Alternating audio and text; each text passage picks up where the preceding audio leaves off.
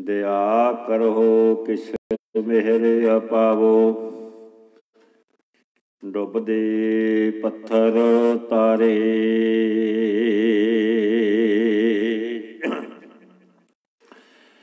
ਬਾਣੀ ਗੁਰੂ ਗੁਰੂ ਹੈ ਬਾਣੀ। ਵਿੱਚ ਬਾਣੀ, ਅਮਰਤ ਸਾਰੇ।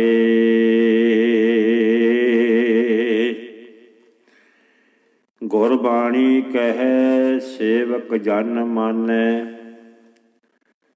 ਪਰਤਖ ਗੁਰੂ ਨਿਸਤਾਰੇ।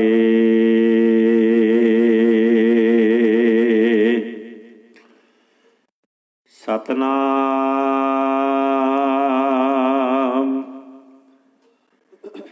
ਸ੍ਰੀ ਵਾਹਿਗੁਰੂ ਸਾਹਿਬ ਜੀ। ਕਰਮ ਖੰਡ ਕੀ ਬਾਣੀ ਜੋਰ? ਤਿੱਥੈ ਹੋਰ ਨਾ ਕੋਈ ਹੋਰ।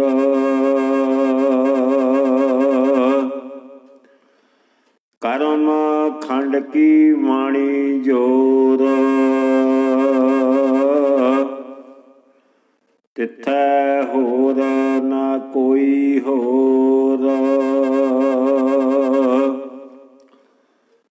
ਤਿੱਥੈ ਜੋਧ ਮਹਾਬਲ ਸੂਰ।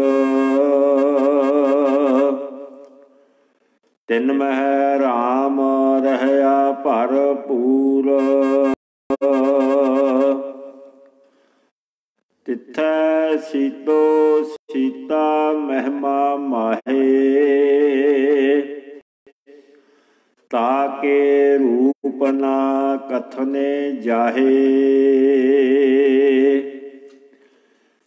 ਨਾ ਉਹ ਮਰਹਿ ਨਾ ਠਾਗੇ ਜਾਹੇ।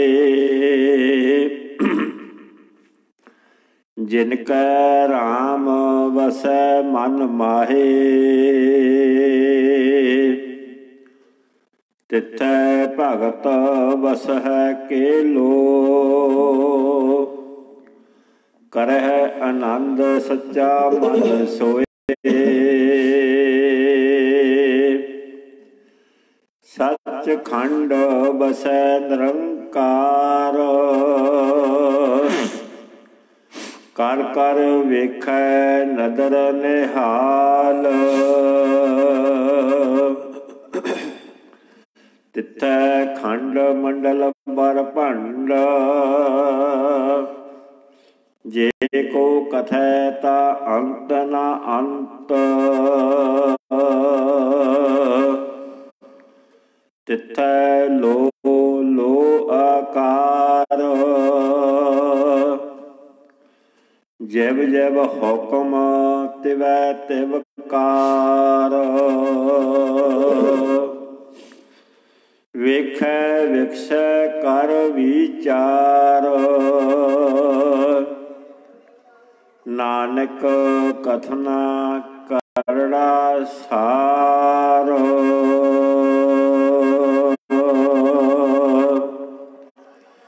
ਵੇਖੈ ਵਿਖਸੈ ਕਰ ਵਿਚਾਰ। ਨਾਨਕ ਕਥਨਾ ਕਰੜਾ ਸਾਰ।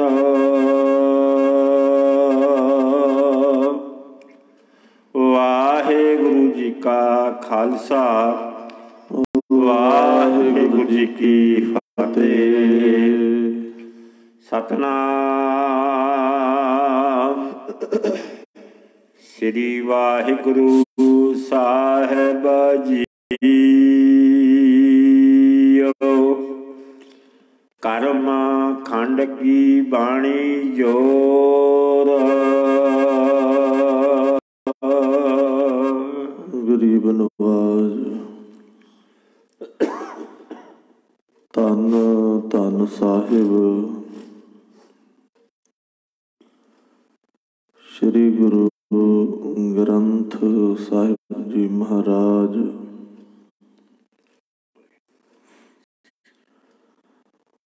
ਜੀਵਾਂ ਦਾ ਆਧਾਰ ਕਰਨ ਵਾਸਤੇ, ਭਲਾ ਕਰਨ ਵਾਸਤੇ ਭੁੱਲੀ ਅਤੇ ਭਟਕੀ ਹੋਈ ਲਕਾਈ ਨੂੰ ਸੱਚ ਨਾਲ ਜੋੜਨ ਵਾਸਤੇ।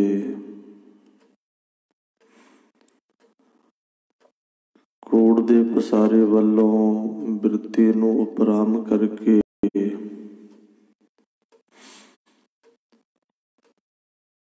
ਤਤ ਸਿਧਾਂਤ ਦੇ ਨਾਲ ਸਾਡੀ ਰੁਚੀ ਜੋੜਨ ਵਾਸਤੇ ਗੁਰਦੇਵ ਸਾਡੇ ਤੇ ਰੋਜ਼ਾਨਾ ਬਖਸ਼ਿਸ਼ਾਂ ਕਰਦੇ ਨੇ, ਰਹਿਮਤਾਂ ਕਰਦੇ ਨੇ। ਜਿਵੇਂ ਪਿਛਲੀ ਪੌੜੀ ਦੇ ਵਿੱਚ ਗੁਰਦੇਵ ਨੇ ਗਿਆਨ ਦੀ ਬਾਤ ਕੀਤੀ, ਗਿਆਨ ਖੰਡ ਦਾ ਜੋ ਮਾਰਗ ਹੈ, ਉਹ ਸਾਨੂੰ ਸਮਝਾਇਆ। ਕਿ ਮਨੁੱਖ ਕੋਲੇ ਜਦੋਂ ਗਿਆਨ ਹੋਵੇ, ਫਿਰ ਉਹਦੇ ਕਰਮ ਵੀ ਨੇਕ ਹੋ ਜਾਂਦੇ ਨੇ। ਜਿੰਨਾ ਚਿਰ ਗਿਆਨ ਨਹੀਂ ਉਹਨਾਂ ਚਿਰ ਕਰਮ ਨੇਕ ਨਹੀਂ ਹੋ ਸਕਦਾ। ਬਿਲਕੁਲ ਸਾਦੀ ਜੀ ਬਾਤ ਹੋਵੇਗੀ। ਇੱਕ ਤੁਸੀਂ ਉਹ ਗੁਰਮੁਖ ਜੀ ਜਿਹੜੇ ਅੰਮ੍ਰਿਤ ਵੇਲੇ ਉੱਠਦੇ, ਜੇ ਇਸ਼ਨਾਨ ਪਾਣੀ ਕਰਦੇ, ਜੇ ਕੋਈ ਠੰਡੇ ਨਾਲ ਪਾਣੀ ਨਾਲ ਕਰਦਾ ਹੋ ਕੋਈ ਤੱਤੇ ਨਾਲ ਕਰਦਾ ਹੋ ਔਰ ਬਸਤਰ ਪਹਿਨ ਕਰਕੇ ਪਠਨ ਪਾਠ ਜਿੰਨਾ ਵੀ ਕੋਈ ਕਰ ਸਕਦਾ, ਕੋਈ ਸਿਮਰਨ ਕੀਤਾ, ਕੋਈ ਨਿਤਨੇਮ ਕੀਤਾ। ਉਸ ਤੋਂ ਉਪਰੰਤ ਤੁਸਾਂ ਨੇ ਉਦਮ ਕੀਤਾ, ਉਪਰਾਲਾ ਕੀਤਾ, ਯਤਨ ਕੀਤਾ ਕਿ ਗੁਰੂ ਘਰ ਚੱਲੀਏ। ਗੁਰੂ ਘਰ ਆਏ, ਗੁਰੂ ਦੇ ਦਰਸ਼ਨ ਕੀਤੇ। ਚਾਹੇ ਆਉਂਦਿਆਂ ਹੋਇਆ ਤੇ ਚਾਹੇ ਜਾਂਦਿਆਂ ਹੋਇਆ। ਸਾਨੂੰ ਕੋਈ ਇਹੋ ਜਿਹਾ ਪੁਰਸ਼ ਮਿਲ ਜਾਵੇ ਜਿਹੜਾ ਕਿਸੇ ਨਾ ਕਿਸੇ ਤਰ੍ਹਾਂ ਦੇ ਵਕਾਰ ਐਬ ਦੇ ਵਿੱਚ ਗ੍ਰਸਤ ਹੋਵੇ। ਭਾਵੇਂ ਉਹ ਸ਼ਰਾਬ ਪਾਣੀ ਪੀਣ ਵਾਲਾ ਹੋਵੇ। ਭਾਵੇਂ ਉਹ ਸਾਡਾ ਕਿੰਨਾ ਵੀ ਨਜ਼ਦੀਕੀ ਹੋਵੇ, ਪਰ ਆਪਾਂ ਕੰਨੀ ਕਤਰਾਵਾਂਗੇ ਵੀ ਗੁਰੂ ਘਰ ਚੱਲੇ ਆ ਸਵੇਰੇ ਸਵੇਰੇ ਇਹਨੂੰ ਕਾਹਤੋਂ ਮਿਲਣਾ ਹੈ? ਇਹ ਗੱਲ ਦਾ ਸਾਨੂੰ ਸਮਝ ਤਾਂ ਆਈ, ਸਾਨੂੰ ਪਤਾ ਹੈ ਕਿ ਇਹਨੇ ਮਾੜੀ ਚੀਜ਼ ਖਾਧੀ ਹੋਵੇਗੀ, ਮਾੜੀ ਚੀਜ਼ ਪੀਤੀ ਹੋਵੇਗੀ। ਚਲੋ ਖੁਦਾ ਨਾ ਖਾਸਤਾ ਉਹ ਬੰਦਾ ਮਿਲ ਵੀ ਪਿਆ। ਉਹਨੇ ਸਾਨੂੰ ਟੀਚਰ ਨਾਲ, ਮਜ਼ਾਕ ਨਾਲ ਜਾਂ ਕਿਸੇ ਵੀ ਨਜ਼ਰੀਏ ਦੇ ਨਾਲ ਸਾਨੂੰ ਇਹ ਬਾਤ ਕਵੇ ਵੀ ਲੈ ਪਾਉ ਤੂੰ ਵੀ ਖਾ ਲਾ, ਤੂੰ ਵੀ ਪੀ ਲਾ। ਤੇ ਆਪਾਂ ਉਹਨੂੰ ਝਿੜਕਾਂਗੇ ਭਾਵੇਂ ਕਿੰਨਾ ਵੀ ਨਜ਼ਦੀਕੀ ਹੋਵੇ। ਪਹਿਲਾਂ ਤੇ ਉਹਦੀ ਇਸ ਗੱਲ ਦਾ ਜਵਾਬ ਅਸੀਂ ਦਵਾਂਗੇ ਕਿ ਨਹੀਂ ਪਾਓ ਮੈਂ ਇਹ ਗੁਨਾਹ, ਮੈਂ ਇਹ ਐਬ, ਮੈਂ ਇਹ ਪਾਪ ਨਹੀਂ ਕਰਦਾ। ਦੂਸਰਾ ਆਪਾਂ ਉਹਨੂੰ ਜ਼ਰੂਰ ਮਾਰਾਂਗੇ ਵੀ ਦੇਖ ਮੈਂ ਗੁਰੂ ਘਰ ਚੱਲਿਆ, ਜਾਂ ਮੈਂ ਆਪਣਾ ਕੋਈ ਕਾਰ ਵਿਹਾਰ ਕਰਨ ਚੱਲਿਆ, ਜਾਂ ਮੈਂ ਆਪਣਾ ਪਠਨ ਪਾਠ ਕਰ ਰਿਹਾ। ਤੇ ਤੂੰ ਕਿੰਨਾ ਘਟੀਆ ਕਿਸਮ ਦਾ ਪੁਰਸ਼ ਹੈ ਕਿ ਮੈਨੂੰ ਕਿੱਡੀ ਘਟੀਆ ਕਿਸਮ ਦੀ ਵਸਤੂ ਦੀ ਸੁਲਾ ਮਾਰ ਰਿਹਾ ਹੈ। ਸਾਨੂੰ ਵਸਤੂ ਘਟੀਆ ਤਾਂ ਲੱਗੀ ਕਿ ਸਾਨੂੰ ਗਿਆਨ ਹੈ। ਸਾਨੂੰ ਪਤਾ ਇਹ ਚੀਜ਼ ਮਾੜੀ ਹੈ। ਪਰ ਲੇਕਿਨ ਜਿਹੜਾ ਖਾ ਰਿਹਾ ਹੈ, ਪੀ ਰਿਹਾ ਹੈ, ਉਹਨੂੰ ਤੁਸੀਂ ਆਪਣੇ ਥੈਲੇ ਚੋਂ ਕੱਢ ਕੇ ਭਾਵੇਂ 10 ਬੋਤਲਾਂ ਦੇ ਦਿਓ ਵੀ ਲੈ ਭਾਈ ਪੀ ਲਈ, ਖਾ ਲਈ। ਤੇ ਉਹ ਬੜਾ ਖੁਸ਼ ਹੋਵੇਗਾ। ਬੜੇ ਤੁਹਾਡੇ ਸੁਹਲੇ ਗਾਵੇਗਾ, ਕਿਉਂ? ਉਹਨੂੰ ਗਿਆਨ ਨਹੀਂ ਹੈ ਵੀ ਇਹ ਵਸਤੂ ਮਾੜੀ ਹੈ। ਮਾੜੀ ਵਸਤੂ ਦਾ ਵਿਰੋਧ ਉਹੀ ਕਰੇਗਾ ਜਿਹਦੇ ਕੋਲੇ ਗਿਆਨ ਹੈ, ਜਿਹਨੂੰ ਸਮਝ ਹੈ ਵੀ ਇਹ ਵਸਤੂ ਮਾੜੀ ਹੈ, ਇਹ ਗਲਤ ਹੈ। ਚੰਗੀ ਵਸਤੂ ਦਾ ਵੀ ਹੱਕ ਉਹੀ ਜਿਤਾਵੇਗਾ, ਚੰਗੀ ਵਸਤੂ ਦੇ ਹੱਕ ਵਿੱਚ ਵੀ ਆਵਾਜ਼ ਉਹੀ ਬੁਲੰਦ ਕਰੇਗਾ, ਜਿਹਨੂੰ ਪਤਾ ਹੈ ਵਸਤੂ ਚੰਗੀ ਹੈ। ਦੂਜਾ ਨਹੀਂ ਕਰੇਗਾ। ਸਾਡੇ ਘਰ ਦੇ ਪਦਾਰਥ ਬੜੇ ਕੀਮਤੀ ਹੁੰਦੇ ਨੇ। ਔਰ ਬਜ਼ੁਰਗਾਂ ਨੇ ਬੜੀ ਮਿਹਨਤ ਦੇ ਨਾਲ ਦਿਨ ਪਰ ਰਾਤ ਮਿਹਨਤ ਕਰਕੇ ਉਹ ਪਦਾਰਥ ਬਣਾਏ ਹੁੰਦੇ ਨੇ। ਪੁੱਤਰ ਉਹਨਾਂ ਨੂੰ ਉਜਾੜਨਾ ਸ਼ੁਰੂ ਕਰ ਦਵੇ ਤੇ ਸਮਝ ਲੈਣਾ ਪੁੱਤਰ ਨੂੰ ਗਿਆਨ ਨਹੀਂ ਹੈਗਾ। ਤੇ ਜੇ ਪੁੱਤਰ ਬਾਪੂ ਦੇ ਬਣਾਏ ਪਦਾਰਥਾਂ ਦੇ ਨਾਲ ਹੋਰ ਪਦਾਰਥ ਜੋੜ ਰਿਹਾ ਹੈ ਤੇ ਫਿਰ ਉਸ ਪੁੱਤਰ ਨੂੰ ਗਿਆਨ ਹੈ ਵੀ ਇਹ ਬੜੀ ਮਿਹਨਤ ਨਾਲ ਬਣਦੇ ਨੇ, ਇਹਨਾਂ 'ਚ ਵਾਧਾ ਕਰਨਾ ਚਾਹੀਦਾ ਹੈ, ਇਹ ਵੇਚ ਨਹੀਂ ਦੇਣੇ ਚਾਹੀਦੇ। ਭਾਵੇਂ ਕੋਈ ਚੰਗੀ ਬਾਤ ਹੈ ਤੇ ਭਾਵੇਂ ਕੋਈ ਬੁਰੀ ਬਾਤ ਹੈ, ਪਰ ਇਹਦੇ ਬਾਰੇ ਜਾਣਕਾਰੀ ਉਹਨੂੰ ਹੀ ਹੋਵੇਗੀ ਜਿਹਦੇ ਕੋਲੇ ਗਿਆਨ ਹੈ, ਜਿਹਦੇ ਕੋਲੇ ਸਮਝ ਹੈ, ਜਿਹਦੇ ਕੋਲੇ ਅਕਲ ਹੈ, ਜਿਹਦੇ ਕੋਲੇ ਬੁੱਧੀ ਹੈ, ਜਿਹਦੀ ਮਤ ਬੁੱਧ ਅਕਲ ਘੜੀ ਹੋਈ ਮਤ ਹੈ। ਪਿਛਲੀ ਪੌੜੀ ਦੇ ਵਿੱਚ ਗੁਰਦੇਵ ਨੇ ਇਹੋ ਹੀ ਸਾਰਾ ਸਾਨੂੰ ਸਿਧਾਂਤ ਸਮਝਾਇਆ ਸੀ ਕਿ ਜਿਸ ਕੋਲੇ ਗਿਆਨ ਹੈ, ਉਹਦੀ ਹੀ ਮਤ ਘੜੀ ਜਾਵੇਗੀ, ਦੂਜੇ ਦੀ ਨਹੀਂ ਘੜੀ ਜਾਵੇਗੀ। ਮੈਂ ਫਿਰ ਬੇਨਤੀ ਕਰਾਂ, ਤੁਸੀਂ ਗੁਰਮੁਖ ਹੋ, ਗੁਰੂ ਦੇ ਪਿਆਰੇ ਹੋ, ਨਾਮ ਬਾਣੀ ਨਾਲ ਜੁੜੇ ਹੋਏ ਹੋ, ਸੇਵਾ ਸਿਮਰਨ ਭਜਨ ਬੰਦਗੀ ਇਹ ਤੁਹਾਡਾ ਨਿਤ ਦਾ ਰੁਟੀਨ ਹੈ। ਔਰ ਗੁਰੂ ਦੀ ਬਖਸ਼ਿਸ਼ ਦੁਆਰਾ ਤੁਸੀਂ ਇਹ ਰੁਟੀਨ ਰੋਜ਼ਾਨਾ ਆਪਣਾ ਪੂਰਾ ਕਰਦੇ ਜੇ। ਤੁਹਾਨੂੰ ਇਸ ਸਥਾਨ ਤੇ ਆਇਆਂ ਨੂੰ ਕਿਸੇ ਤਰ੍ਹਾਂ ਦੀ ਕੋਈ ਚੋਟ ਦਵੇ ਕਿਸੇ ਤਰ੍ਹਾਂ ਦਾ ਕੋਈ ਦੁੱਖ ਮਿਲੇ, ਕਿਸੇ ਤਰ੍ਹਾਂ ਦਾ ਕੋਈ ਔਗਣ ਮਿਲੇ, ਇੱਥੋਂ ਤੁਹਾਨੂੰ ਗਨਾਹ ਮਿਲੇ। ਤੁਸੀਂ ਫਟ ਉਸ ਗੱਲ ਨੂੰ ਫਾਈਂਡ ਕਰ ਜਾਵੋਗੇ ਵੀ ਨਹੀਂ, ਇਹ ਬਾਤ ਸਹੀ ਨਹੀਂ ਹੋ ਰਹੀ। ਇਹ ਗੁਰਦੁਆਰੇ ਦੇ ਵਿੱਚ, ਮੰਦਰ ਦੇ ਵਿੱਚ, ਮਸਜਿਦ ਦੇ ਵਿੱਚ, ਚਰਚ ਦੇ ਵਿੱਚ ਇਹ ਜੋ ਹੋ ਰਿਹਾ, ਠੀਕ ਨਹੀਂ ਹੋ ਰਿਹਾ। ਜਿਸ ਮਨੁੱਖ ਨੂੰ ਗਿਆਨ ਨਹੀਂ, ਉਹਦੇ ਵਾਸਤੇ ਇਹ ਗੁਰਦੁਆਰਾ ਵੀ ਨਹੀਂ, ਮੰਦਰ ਵੀ ਨਹੀਂ, ਮਸਜਿਦ ਵੀ ਨਹੀਂ, ਚਰਚ ਵੀ ਨਹੀਂ, ਉਹਨੂੰ ਤੇ ਆਪਣੀ ਜਮਾਤ ਦਾ ਆਦਮੀ ਮਿਲਣਾ ਚਾਹੀਦਾ ਹੈ। ਗੁਰਮੁਖ ਹੈ, ਉਹ ਗੁਰਮੁਖਾਂ ਦੀ ਜਮਾਤ ਲੱਭੇਗਾ। ਕਿਉਂਕਿ ਉਹਨੂੰ ਪਤਾ ਹੈ, ਗੁਰਮੁਖਾਂ ਦੇ ਕੋਲੇ ਬਹਾਂਗਾ ਤੇ ਨੇਕੀ ਕਮਾ ਲਵਾਂਗਾ। ਤੇ ਮਨਮੁਖ ਬੰਦੇ ਨੂੰ ਨਿਸ਼ਰਦਕ ਤੇ ਨਗੁਰੇ ਬੰਦੇ ਨੂੰ ਨਗੁਰਿਆਂ ਦੀ ਜਮਾਤ ਚਾਹੀਦੀ ਉਹਨੂੰ ਪਤਾ ਹੈ ਮੈਂ ਉੱਥੇ ਉਹ ਕੰਮ ਕਰ ਹੀ ਨਹੀਂ ਸਕਦਾ ਜੇ ਮੈਨੂੰ ਮੇਰੀ ਜਮਾਤ ਦੇ ਬੰਦੇ ਨਾ ਮਿਲੇ ਤੇ। ਇਹ ਸਾਰਾ ਸਿਧਾਂਤ ਗੁਰੂ ਨਾਨਕ ਸਾਹਿਬ ਸੱਚੇ ਪਾਤਸ਼ਾਹ ਜੀ ਸਾਨੂੰ ਸਮਝਾ ਰਹੇ ਸਨ। ਤੇ ਸਤਿਗੁਰੂ ਗੁਰੂ ਨਾਨਕ ਸਾਹਿਬ ਸੱਚੇ ਪਾਤਸ਼ਾਹ ਜੀ ਨੇ ਸਮਝਾਉਂਦਿਆਂ ਸਮਝਾਉਂਦਿਆਂ ਬਾਤ ਇੱਥੇ ਲਿਆਂਦੀ ਸੀ।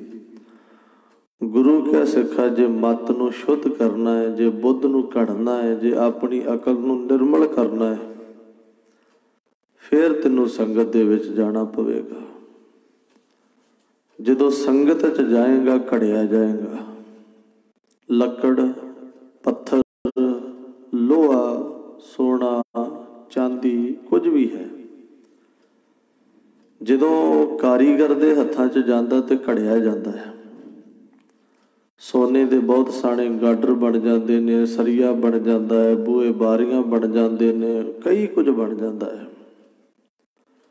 ਲੋਹੇ ਦਾ ਕਈ ਕੁਝ ਬਣਦਾ ਹੈ, ਚਾਂਦੀ ਦਾ ਕਈ ਕੁਝ ਬਣਦਾ ਹੈ, ਲੱਕੜ ਦਾ ਕਈ ਕੁਝ ਬਣਦਾ ਹੈ, ਪੱਥਰ ਦਾ ਬਹੁਤ ਕੁਝ ਬਣਦਾ ਹੈ। ਪਰ ਬਣਦਾ ਉਦੋਂ ਹੈ ਜਦੋਂ ਕਾਰੀਗਰ ਦੇ ਹੱਥ ਚੜਦਾ ਹੈ। ਸ਼ਬਦ ਦੋ ਨੇ, ਇੱਕ ਸੰਗਤ, ਇੱਕ ਕੁਸੰਗਤ। ਸੰਗਤ ਸੰਗਤ ਹੈ ਜਿਹੜੀ ਸਾਡੇ ਮਨ ਨੂੰ, ਬੁੱਧ ਨੂੰ, ਮਤ ਨੂੰ, ਅਕਲ ਨੂੰ ਘੜਨ ਵਾਲੀ ਕਾਰੀਗਰ ਹੈ। ਤੇ ਕੁਸੰਗਤ ਕੀ ਹੈ? ਕੁਸੰਗਤ ਇੱਕ ਵੱਡਾ ਪਹਾੜ ਹੈ ਪੱਥਰਾਂ ਦਾ, ਜਿਹੜੇ ਠੇਡੇ ਤੇ ਲੱਗ ਸਕਦੇ ਨੇ ਬਾਦਾ ਤੇ ਖੜੀ ਕਰ ਸਕਦੇ ਨੇ, ਰੁਕਾਵਟ ਤਾਂ ਖੜੀ ਕਰ ਸਕਦੇ ਨੇ ਪਹਾੜ, ਪਰ ਵਰਤੋਂ 'ਚ ਕਿਸੇ ਨਹੀਂ ਆ ਸਕਦੇ। ਇੱਕ ਵੱਡਾ ਲੋਹੇ ਦਾ ਢੇਲਾ ਹੈ ਕੁਸੰਗਤ ਜਿਹਦੇ ਵਿੱਚ ਲ- ਤੁਰਨ ਫਿਰਨ ਦੇ ਨਾਲ, ਜਿਸ ਦੇ ਵਿੱਚ ਉੱਠਣ ਬੈਠਣ ਦੇ ਨਾਲ ਸੱਟ ਪਿੱਟ ਚੋਟ, ਵਕਾਰ, ਵਿਸ਼ੇ, ਔਗਣ, ਗੁਨਾਹ ਤੇ ਚੰਬੜ ਸਕਦੇ ਨੇ। ਪਰ ਲੇਕਿਨ ਕਸੰਗਤ ਰੂਪੀ ਲੋਹੇ ਦੇ ਵਿੱਚ ਰਹਿ ਕਰਕੇ ਕਦੇ ਘੜਿਆ ਨਹੀਂ ਜਾ ਸਕਦਾ। ਇਸ ਕਰਕੇ ਗੁਰੂ ਨਾਨਕ ਸਾਹਿਬ ਸੱਚੇ ਪਾਤਸ਼ਾਹ ਜੀ ਨੇ ਸਾਨੂੰ ਸਮਝਾਇਆ ਸੀ ਕਿ ਗੁਰੂ ਕੇ ਸਿੱਖਾ, ਜੇ ਤੂੰ ਆਪਣੀ ਮਤ, ਬੁੱਧ, ਅਕਲ, ਇਹ ਸਭ ਕੁਝ ਘੜਨਾ ਚਾਹੁੰਦਾ ਹੈ ਤੇ ਤੈਨੂੰ ਗਿਆਨਵਾਨਾਂ ਦੀ ਸੰਗਤ ਕਰਨੀ ਚਾਹੀਦੀ ਜਿਹੜੇ ਘੜੇ ਹੋਏ ਨੇ ਪਹਿਲਾਂ।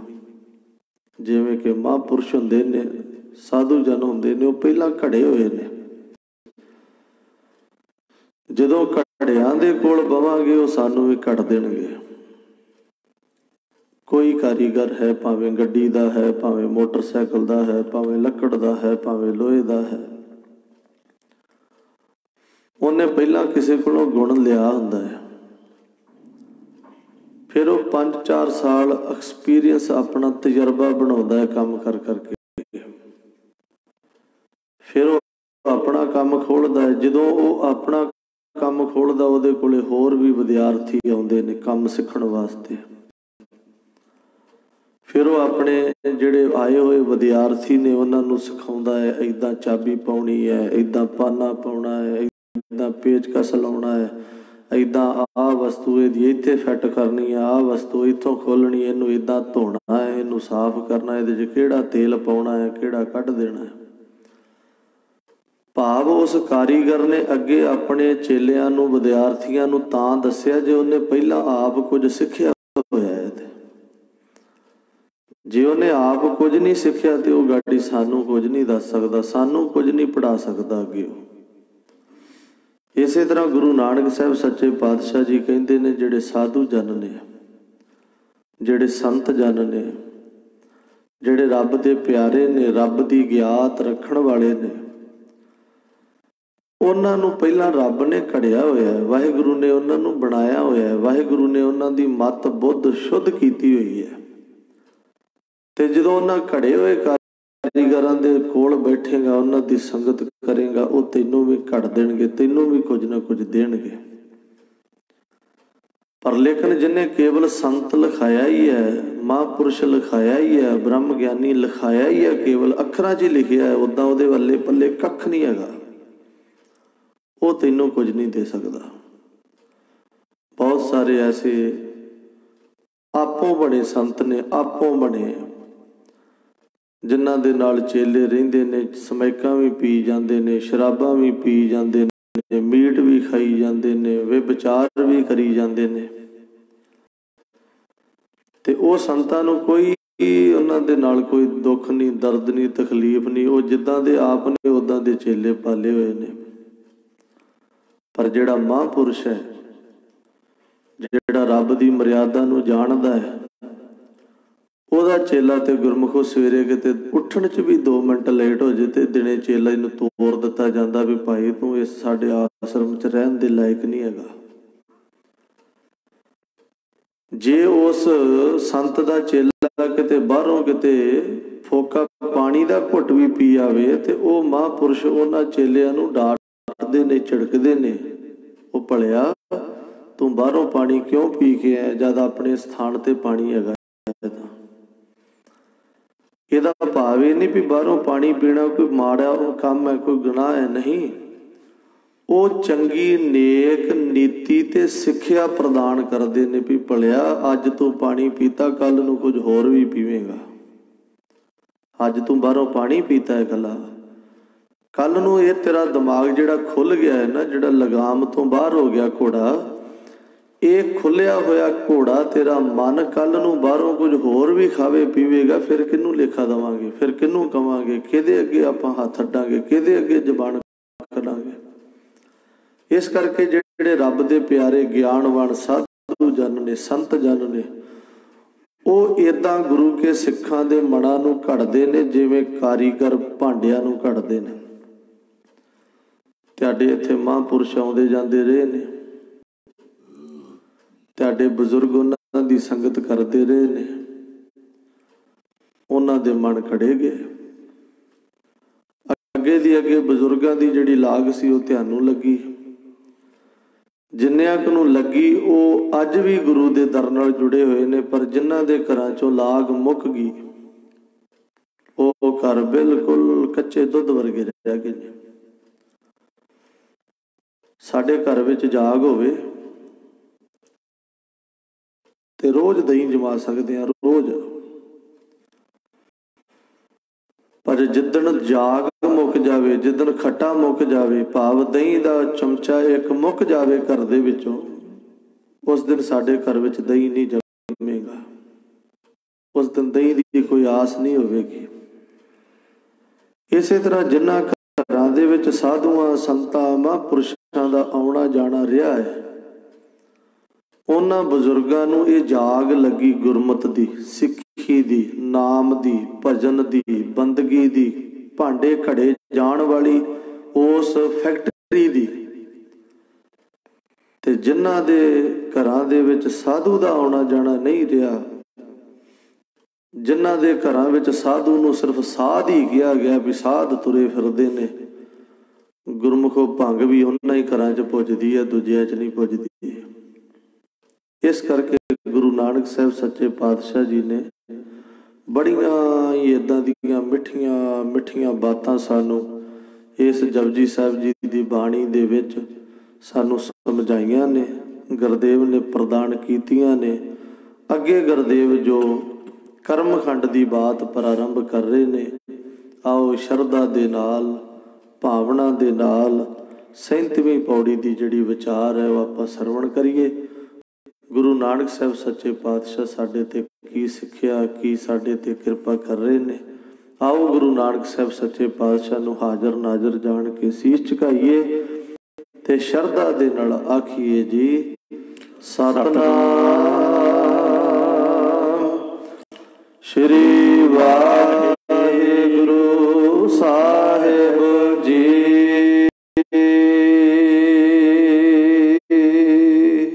ਕਰਮ ਖੰਡ ਕੀ ਬਾਣੀ ਜੋਰ? ਪਹਿਲਾਂ ਆਇਆ ਧਰਮ ਖੰਡ। ਫਿਰ ਆਇਆ ਗਿਆਨ ਖੰਡ। ਫਿਰ ਆਇਆ ਸ਼ਰਮ ਖੰਡ। ਹੁਣ ਗੁਰੂ ਨਾਨਕ ਸਾਹਿਬ ਸੱਚੇ ਪਾਤਸ਼ਾਹ ਕਿਰਪਾ ਕਰ ਰਹੇ ਨੇ ਕਰਮ ਖੰਡ ਦੀ। ਜਿਹਦੇ ਕੋਲੇ ਧਰਮ ਹੈ, ਜਿਹਦੇ ਕੋਲੇ ਗਿਆਨ ਹੈ, ਜਿਹਦੇ ਕੋਲੇ ਸ਼ਰਮ ਹੈ, ਉਹਦੇ ਹੀ ਕਰਮ ਚੰਗੇ ਨੇ, ਉਹਦੇ ਹੀ ਕਰਮ ਨੇਕ ਨੇ, ਦੂਸਰੇ ਦੇ ਕਰਮ ਨਹੀਂ ਨੇਕ ਹੋ ਸਕਦੇ। ਜਿਹਦੇ ਕੋਲੇ ਧਰਮ ਹੈ, ਧਰਮੀ ਹੋਣਾ। ਜਿਹਦੇ ਕੋਲੇ ਗਿਆਨ ਹੈ, ਗਿਆਨਵਾਨ ਹੋਣਾ, ਚੰਗੇ ਤੇ ਮਾੜੇ ਦੀ ਪਛਾਣ ਹੋਣੀ। ਤੇ ਜਿਹਦੇ ਕੋਲੇ ਸ਼ਰਮ ਭਾਵ ਲੱਜਿਆ ਹੈ, ਜਿਹਨੂੰ ਆਪਣੇ ਜੀਵਨ ਦੀ ਚੜ੍ਹਾਈ ਤੇ ਨਵਾਈ ਦਾ ਪਤਾ ਹੈ।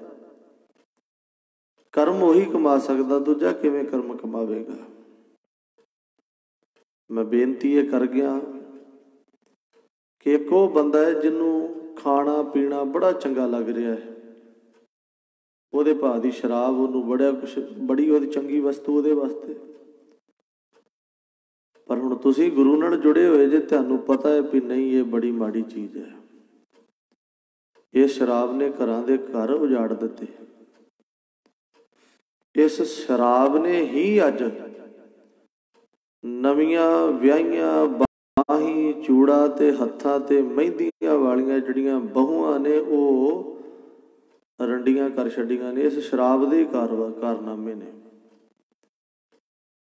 ਕਦੇ ਇਹ ਸ਼ਰਾਬ ਨੂੰ ਲੋਕ ਬੜਾ ਚੰਗਾ ਸਮਝ ਕੇ ਪੀਂਦੇ ਰਹੇ ਨੇ, ਪਰ ਇਹਨਾਂ ਨਸ਼ਿਆਂ ਨੇ ਹੌਲੀ ਹੌਲੀ ਲਿਆ ਕੇ ਸਾਡੇ ਘਰਾਂ 'ਚ ਸਮੈਕ ਵਾੜ ਦਿੱਤੀ ਹੈ।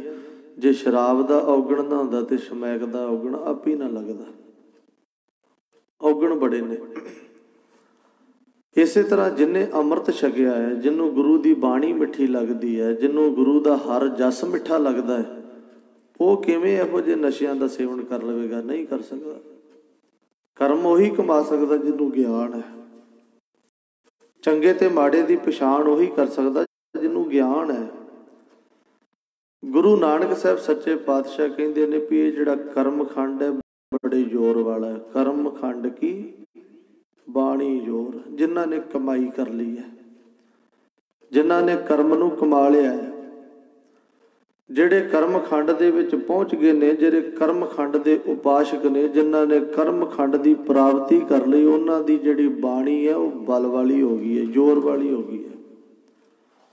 ਭਗਤ ਮੁਖੈ ਤੇ ਬੋਲਦੇ, ਸੇ ਵਚਨ ਹਵੰਦੇ ਨਾਨਕ ਦਾਸ ਮੁਖ ਤੇ ਜੋ ਬੋਲੇ, ਇਹਾਂ ਉਹਾਂ ਸੱਚ ਹੋਵੇ।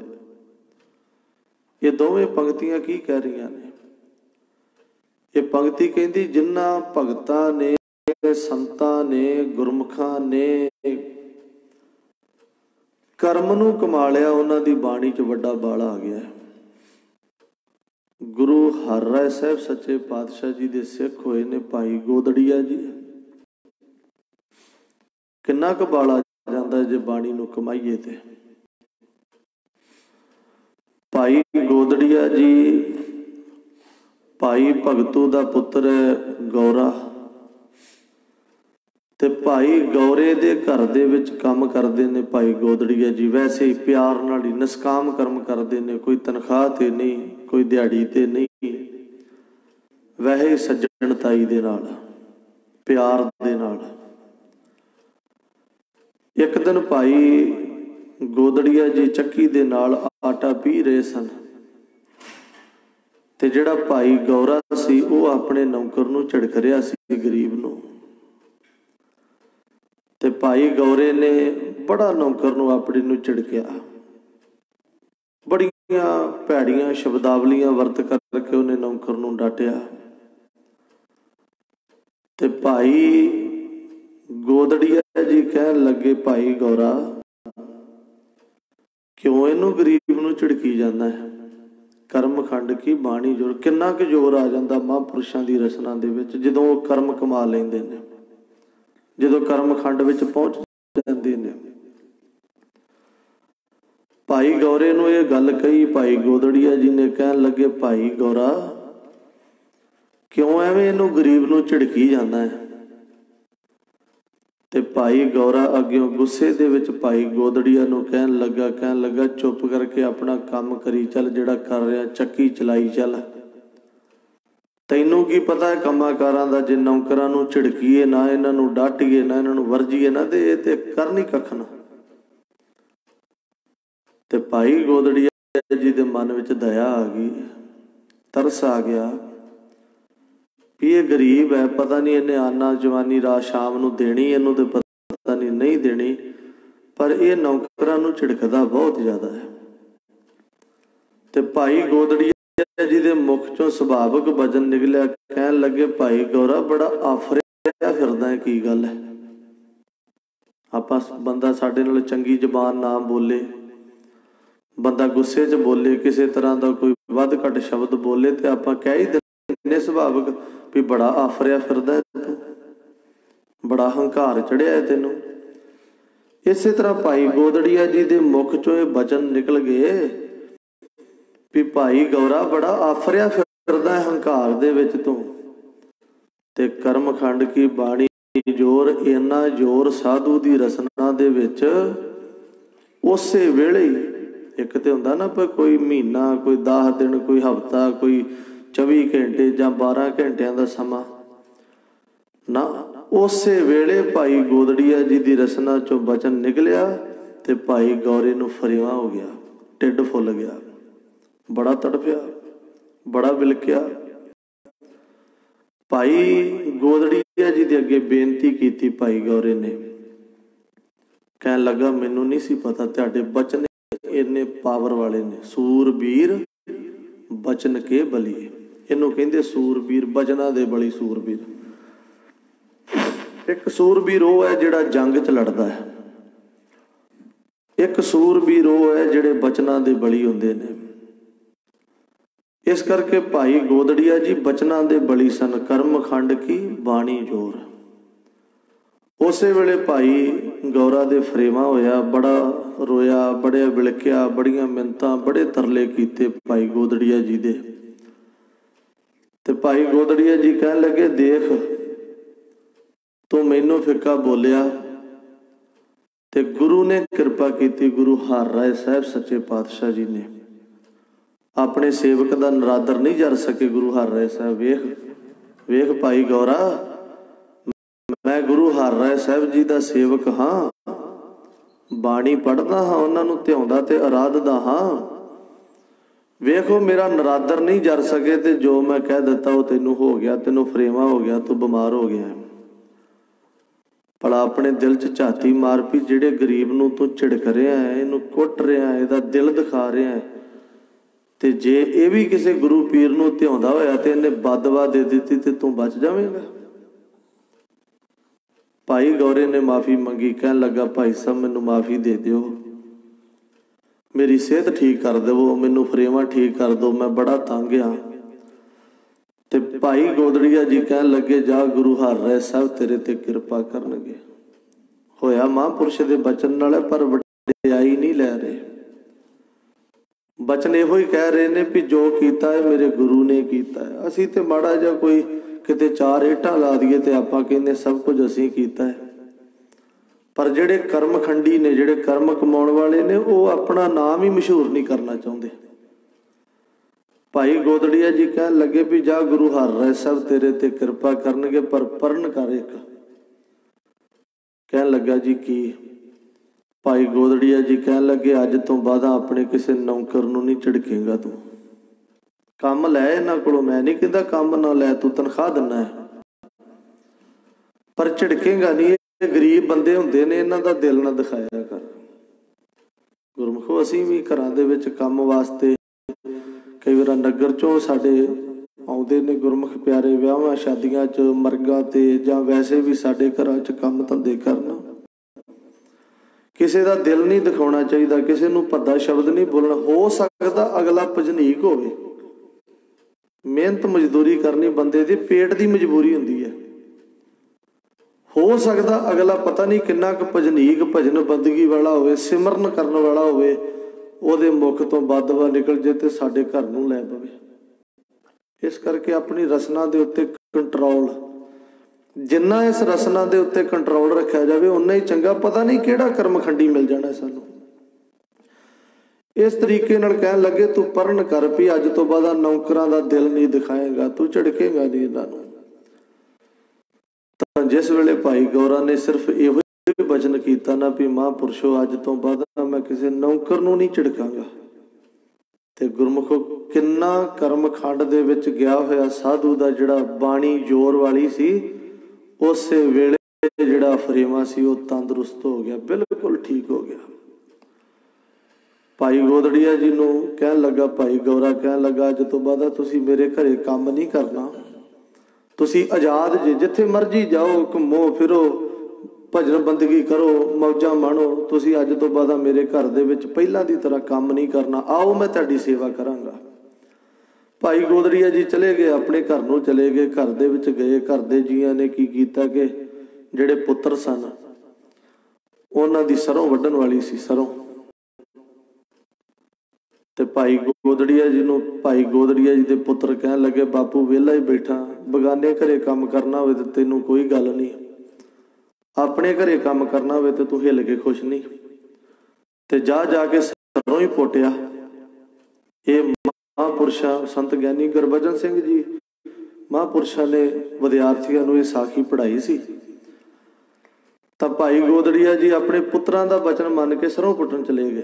ਉਹਨਾਂ ਦੇ ਭਾ ਦਾ ਪਿਓ ਹੀ ਸੀ, ਉਹਨਾਂ ਦੇ ਭਾ ਦਾ ਬਾਪੂ ਹੀ ਸੀ, ਉਹਨਾਂ ਦਾ ਜਨਮਦਾਤਾ ਹੀ ਸੀ, ਬਸ ਉਹਨਾਂ ਦੇ ਭਾ ਦਾ ਕੋਈ ਸੰਤ ਨਹੀਂ ਸੀ, ਬ੍ਰਹਮ ਗਿਆਨੀ ਨਹੀਂ ਸੀ, ਮਹਾਂਪੁਰਸ਼ ਨਹੀਂ ਸੀ। ਪਰ ਲੇਕਿਨ ਭਾਈ ਗੋਦੜੀਆ ਕਰਮਖੰਡ ਦੇ ਵਿੱਚ ਪਹੁੰਚਿਆ ਹੋਇਆ ਸਾਧੂ ਸੀ। ਜਿਸ ਵੇਲੇ ਭਾਈ ਗੋਦੜੀਆ ਜੀ ਜਾ ਕੇ ਸਰੋਂ ਪੱਟ ਰਹੇ ਸਨ ਤੇ ਸਾਰਾ ਦਿਨ ਸਰੋਂ ਪੱਟਦੇ ਰਹੇ ਤੇ ਸ਼ਾਮ ਤੱਕ ਕੋਈ ਰੋਟੀ ਨਹੀਂ, ਕੋਈ ਪਾਣੀ ਨਹੀਂ, ਕੁਝ ਨਾ ਲੈ ਕੇ ਗਏ ਘਰ ਦੇ। ਕਈ ਵਾਰਾਂ ਬੰਦਿਆਂ ਦੀ ਘਰ ਦੇ ਵਿੱਚ ਬੜੀ ਬੇਕਦਰੀ ਹੁੰਦੀ ਹੈ ਬੀਬੀਆਂ ਵੀ, ਪਤਨੀਆਂ ਵੀ ਕਰਦੀਆਂ ਨੇ, ਨੌਵਾਂ ਵੀ ਕਰਦੀਆਂ ਨੇ, ਧੀਆਂ ਪੁੱਤਰ ਵੀ ਕਰਦੇ ਨੇ।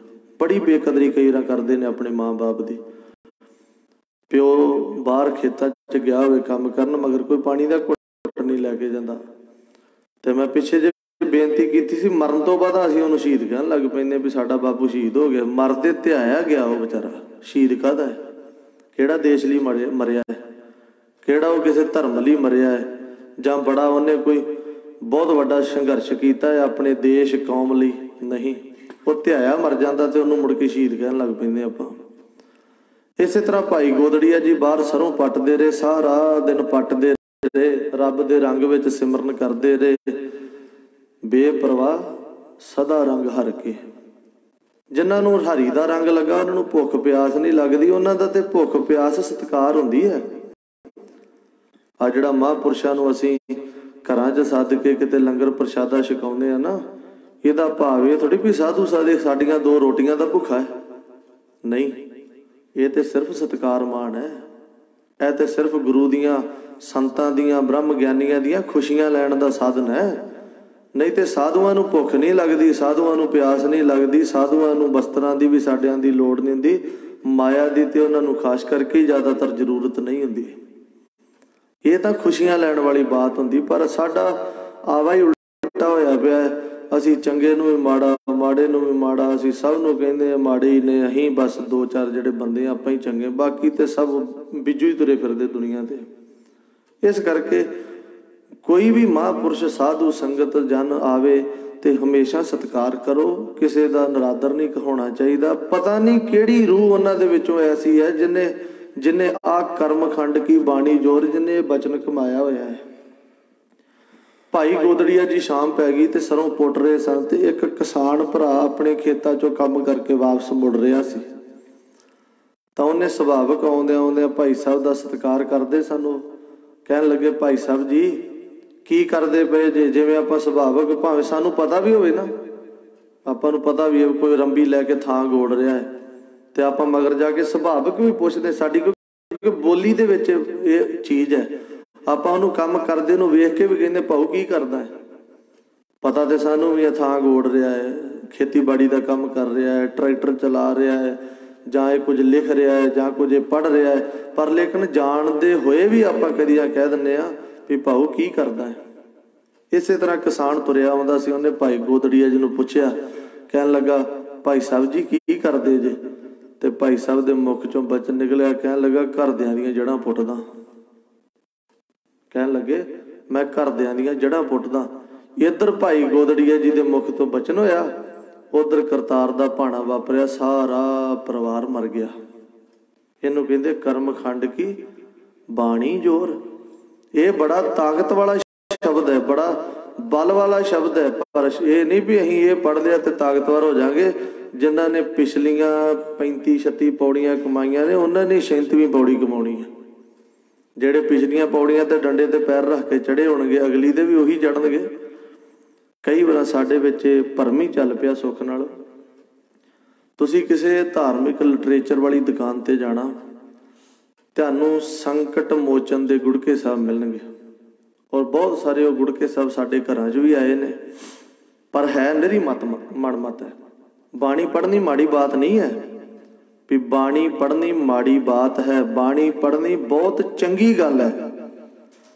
ਪਰ ਲੇਕਿਨ 94 ਸ਼ਬਦ ਕੁਝ ਸਾਧਾ ਨੇ ਸਾਨੂੰ ਲੁੱਟਣ ਵਾਸਤੇ ਕੱਢ ਕੇ ਗੁਰੂ ਕੀ ਬਾਣੀ ਦੇ ਵਿੱਚੋਂ ਤੇ ਉਹਨਾਂ ਦੇ ਸੰਕਟ ਮੋਚਨ ਗੁੜਕਾ ਸਾਹਿਬ ਬਣਾਏ ਹੋਏ ਨੇ। ਤੇ ਨਾਲ ਸਾਧਾਂ ਨੇ ਲਿਖਿਆ ਹੋਇਆ ਹੈ ਆ ਗੁੜਕਾ ਸਾਹਿਬ ਦਾ ਆ ਸ਼ਬਦ ਪੜੋਗੇ ਤੁਹਾਡੀਆਂ ਅੱਖਾਂ ਤੰਦਰੁਸਤ ਹੋਣਗੀਆਂ। ਆ ਸ਼ਬਦ ਪੜੋਗੇ ਤੁਹਾਡੇ ਘਰੇ ਪੁੱਤ ਜੰਮ ਪੇਗਾ ਵੀ ਇੱਕ ਸ਼ਬਦ ਕਹਿ ਰਿਹਾ ਹੈ, ਜੰਮਿਆ ਪੂਤ ਭਗਤ ਗੋਬਿੰਦ ਕਾ। ਹੁਣ ਇਹ ਸ਼ਬਦ ਕਹਿ ਰਿਹਾ ਵੀ ਤੁਹਾਡੇ ਘਰੇ ਪੁੱਤ ਜੰਮੂ ਤੇ ਬਾਕੀ ਬਾਣੀ ਕੀ ਕਹਿੰਦੀ ਹੈ ਵੀ ਤੁਹਾਡੇ ਘਰੇ ਪੁੱਤ ਨਹੀਂ ਜੰਮਣ ਦੇਣਾ? ਵਹਿਮ ਚ ਹੀ ਪਾਉਣਾ ਨਾ ਲੋਕਾਂ ਨੂੰ। ਠੱਗਣਾ ਹੀ ਹੈ ਨਾ ਸਾਨੂੰ। ਦਾਤਰੀ ਨੂੰ ਦੰਦਾ ਕਿਸੇ ਨਾ ਕਿਸੇ ਪਾਸੋਂ ਉਡਾ ਕੇ ਕੱਢਣਾ ਹੀ ਹੈ ਨਾ ਪੈਸਾ ਸਾਡੇ ਕੋਲੋਂ। ਜੇ ਸਿੱਧਾ ਨਹੀਂ ਦੇ ਕੇ ਖੁਸ਼ ਆਪਾਂ, ਤੇ ਉਹਨਾਂ ਨੇ ਕਿਹਾ ਵੀ ਗੁੜ ਕੇ ਸਭ ਮਾਰਕੀਟ 'ਚ ਉਤਾਰ ਦਿਓ, ਆਪੇ ਲੋਕੀ ਖਰੀਦਣਗੇ। ਤੇ ਪੈਸਾ ਸਾਡੇ ਜੇਬ 'ਚ ਆਏਗਾ। ਇਸ ਕਰਕੇ ਬਹੁਤ ਸਾਰੇ ਐਸੇ ਸ਼ਬਦ ਨੇ ਜਿਨ੍ਹਾਂ ਨੂੰ ਪੜਨ ਕਰਕੇ ਆਪਾਂ ਕਹਿ ਦਿੰਨੇ ਆ ਹੋਵੇਗਾ ਆ ਹੋਵੇਗਾ। ਗੁਰੂ ਕੀ ਬਾਣੀ ਦਾ ਸ਼ਬਦ ਹੈ, ਔਖੀ ਘੜੀ ਨਾ ਦੇਖਣ ਦੇਈ ਆਪਣਾ ਬਿਰਧ ਸੰਭਾਲੇ ਹੁਣ ਉਹ ਸੰਕਟ ਮੋਚਨ ਦੇ ਵਿੱਚ ਨਾਲ ਉਹਦੀ ਭੂਮਿਕਾ ਲਿਖ ਕੇ ਸੰਤਾਂ ਨੇ ਬਣਾਈ ਹੈ ਵੀ ਜਿਹੜਾ ਇਹ ਸ਼ਬਦ ਪੜੂ ਨਾ, ਔਖੀ ਘੜੀ ਨਾ ਦੇਖਣ ਦੇ ਉਹਦੇ ਤੇ ਔਖੀ ਘੜੀ ਨਹੀਂ ਆਊਗੀ। ਤੇ ਬਾਕੀ ਬਾਣੀ ਸਾਡੇ ਗੱਲ 'ਚ ਕਿਹੜਾ ਰਸਾ ਪਾਈ ਬੈਠੀ ਹੈ? ਜਿਹੜਾ ਬਾਕੀ 1430 ਅੰਗ ਗੁਰੂ ਗ੍ਰੰਥ ਸਾਹਿਬ ਸੱਚੇ ਪਾਤਸ਼ਾਹ ਦੇ ਨੇ, ਉਹ ਕਿਹੜਾ ਸਾਡੇ ਗੱਲ 'ਚ ਰਸਾ ਪਾਈ ਬੈਠੇ ਨੇ ਵੀ ਸਾਨੂੰ ਫਾਹ ਦੇ ਦੇਣ ਲੱਗੇ ਨੇ? ਨਹੀਂ, ਇਹ ਸਾਡਾ ਵਹਿਮ ਹੈ, ਇਹ ਸਾਡਾ ਭਰਮ ਹੈ। ਇਸੇ ਤਰ੍ਹਾਂ ਬਹੁਤ ਸਾਰੇ ਉਹ ਜਿਹੜੇ ਗੁੜਕੇ ਸਾਹਿਬ ਛਪ ਚੁੱਕੇ ਨੇ, ਉਹ ਸਾਨੂੰ ਇੱਕ ਰੋਗ ਹੀ ਲੱਗ ਗਿਆ ਹੈ। ਆਪਾਂ ਸੁਖਮਨੀ ਦੀ ਬਾਣੀ ਛੱਡ ਦਿੱਤੀ ਤੇ ਕੱਲਾ ਇੱਕ ਸ਼ਬਦ ਪੜ੍ਹਨਾ ਸ਼ੁਰੂ ਕਰ ਦਿੱਤਾ, ਇੱਕ ਸ਼ਬਦ। ਹੁਣ ਇੱਥੇ ਸ਼ਬਦ ਦੀ ਜਿਹੜੀ ਭੂਮਿਕਾ ਹੈ, ਇਹ ਭੂਮਿਕਾ ਇਹ ਹੈ ਵੀ ਜਿਨ੍ਹਾਂ ਨੇ ਕਰਮ ਕਮਾਏ ਨੇ, ਉਹਨਾਂ ਦੇ ਅੰਦਰ ਬੜਾ ਜ਼ੋਰ ਹੈ, ਬੜੀ ਤਾਕਤ ਹੈ ਉਹਨਾਂ ਦੇ ਅੰਦਰ। ਤੇ ਹੁਣ ਜੇ ਕੋਈ ਕਵੇ ਵੀ ਮੇਰੇ ਅੰਦਰ ਵੀ ਤਾਕਤ ਆ ਜੇ, ਮੈਂ ਕੱਲੀ ਇਹੋ ਹੀ ਪੌੜੀ 37ਵੀਂ ਪੌੜੀ ਕੱਲੀ ਇਹੋ ਹੀ ਪੜਨ ਲੱਗ ਪਵਾਂ, ਤੇ ਗੁਰਮੁਖੋ ਜ਼ੋਰ ਥੋੜੀ ਆ ਜਾਏਗਾ। ਜ਼ੋਰ ਤੋਂ ਕਿਉਂਕਿ ਦੂਜੀਆਂ ਜਿਹੜੀਆਂ 36 ਪੌੜੀਆਂ ਨੇ, ਉਹਦੇ ਉੱਤੇ ਤੇ ਸ਼ਰਧਾ ਹੀ ਨਹੀਂ ਹੈਗੀ, ਉੱਤੇ ਤੇ ਵਿਸ਼ਵਾਸ ਹੀ ਨਹੀਂ ਹੈਗਾ। ਪਿਛਲੀਆਂ 36 ਪੌੜੀਆਂ ਤੇ ਸ਼ਰਧਾ ਨਹੀਂ, ਤੇ 37ਵੀਂ ਪੌੜੀ ਪੜਨ ਦੇ ਨਾਲ ਗੱਲ ਨਹੀਂ ਬਣਦੀ ਪਿਛਲੀਆਂ 36 ਪੜਨੀਆਂ ਪੈਣਗੀਆਂ।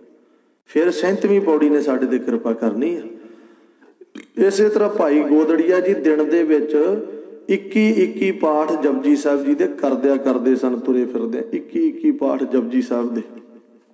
ਬਾਕੀ ਨਿਤਨੇਮ ਬਾਕੀ ਸੇਵਾ, ਬਾਕੀ ਸਿਮਰਨ ਜਿਹੜਾ ਉਹ ਵੱਖਰਾ। ਤੇ ਭਾਈ ਗੋਦੜੀਆ ਜੀ ਦੇ ਮੁਖ ਤੋਂ ਬਚਨ ਨਿਕਲਿਆ, ਕਹਿਣ ਲੱਗੇ ਘਰਦਿਆਂ ਦੀਆਂ ਜੜਾਂ ਪੁੱਟਦਾ। ਇੱਧਰ ਬਚਨ ਹੋਇਆ, ਉਧਰ ਸਾਰਾ ਪਰਿਵਾਰ ਚੜਾਈ ਕਰ ਗਿਆ, ਮਰ ਗਿਆ ਸਾਰਾ ਪਰਿਵਾਰ। ਪਿੰਡ ਆਏ, ਨਗਰ ਨੇ ਅਫਸੋਸ ਕੀਤਾ, ਕਹਿਣ ਲੱਗੇ, ਭਾਈ ਸਾਹਿਬ, ਬੜਾ ਮਾਰਾ ਆਇਆ। ਕਹਿੰਦੇ, ਕੀ ਮਾੜਾ ਆਇਆ? ਕੀ ਮਾੜਾ ਆਇਆ, ਦੱਸੋ? ਕਹਿਣ ਲੱਗੇ, ਤੁਹਾਡਾ ਪਰਿਵਾਰ ਸਾਰਾ ਮਰ ਗਿਆ। ਭਾਈ ਸਾਹਿਬ ਕਹਿਣ ਲੱਗੇ, ਚੰਗਾ ਆ ਬੋਝ ਲੱਥ ਗਿਆ।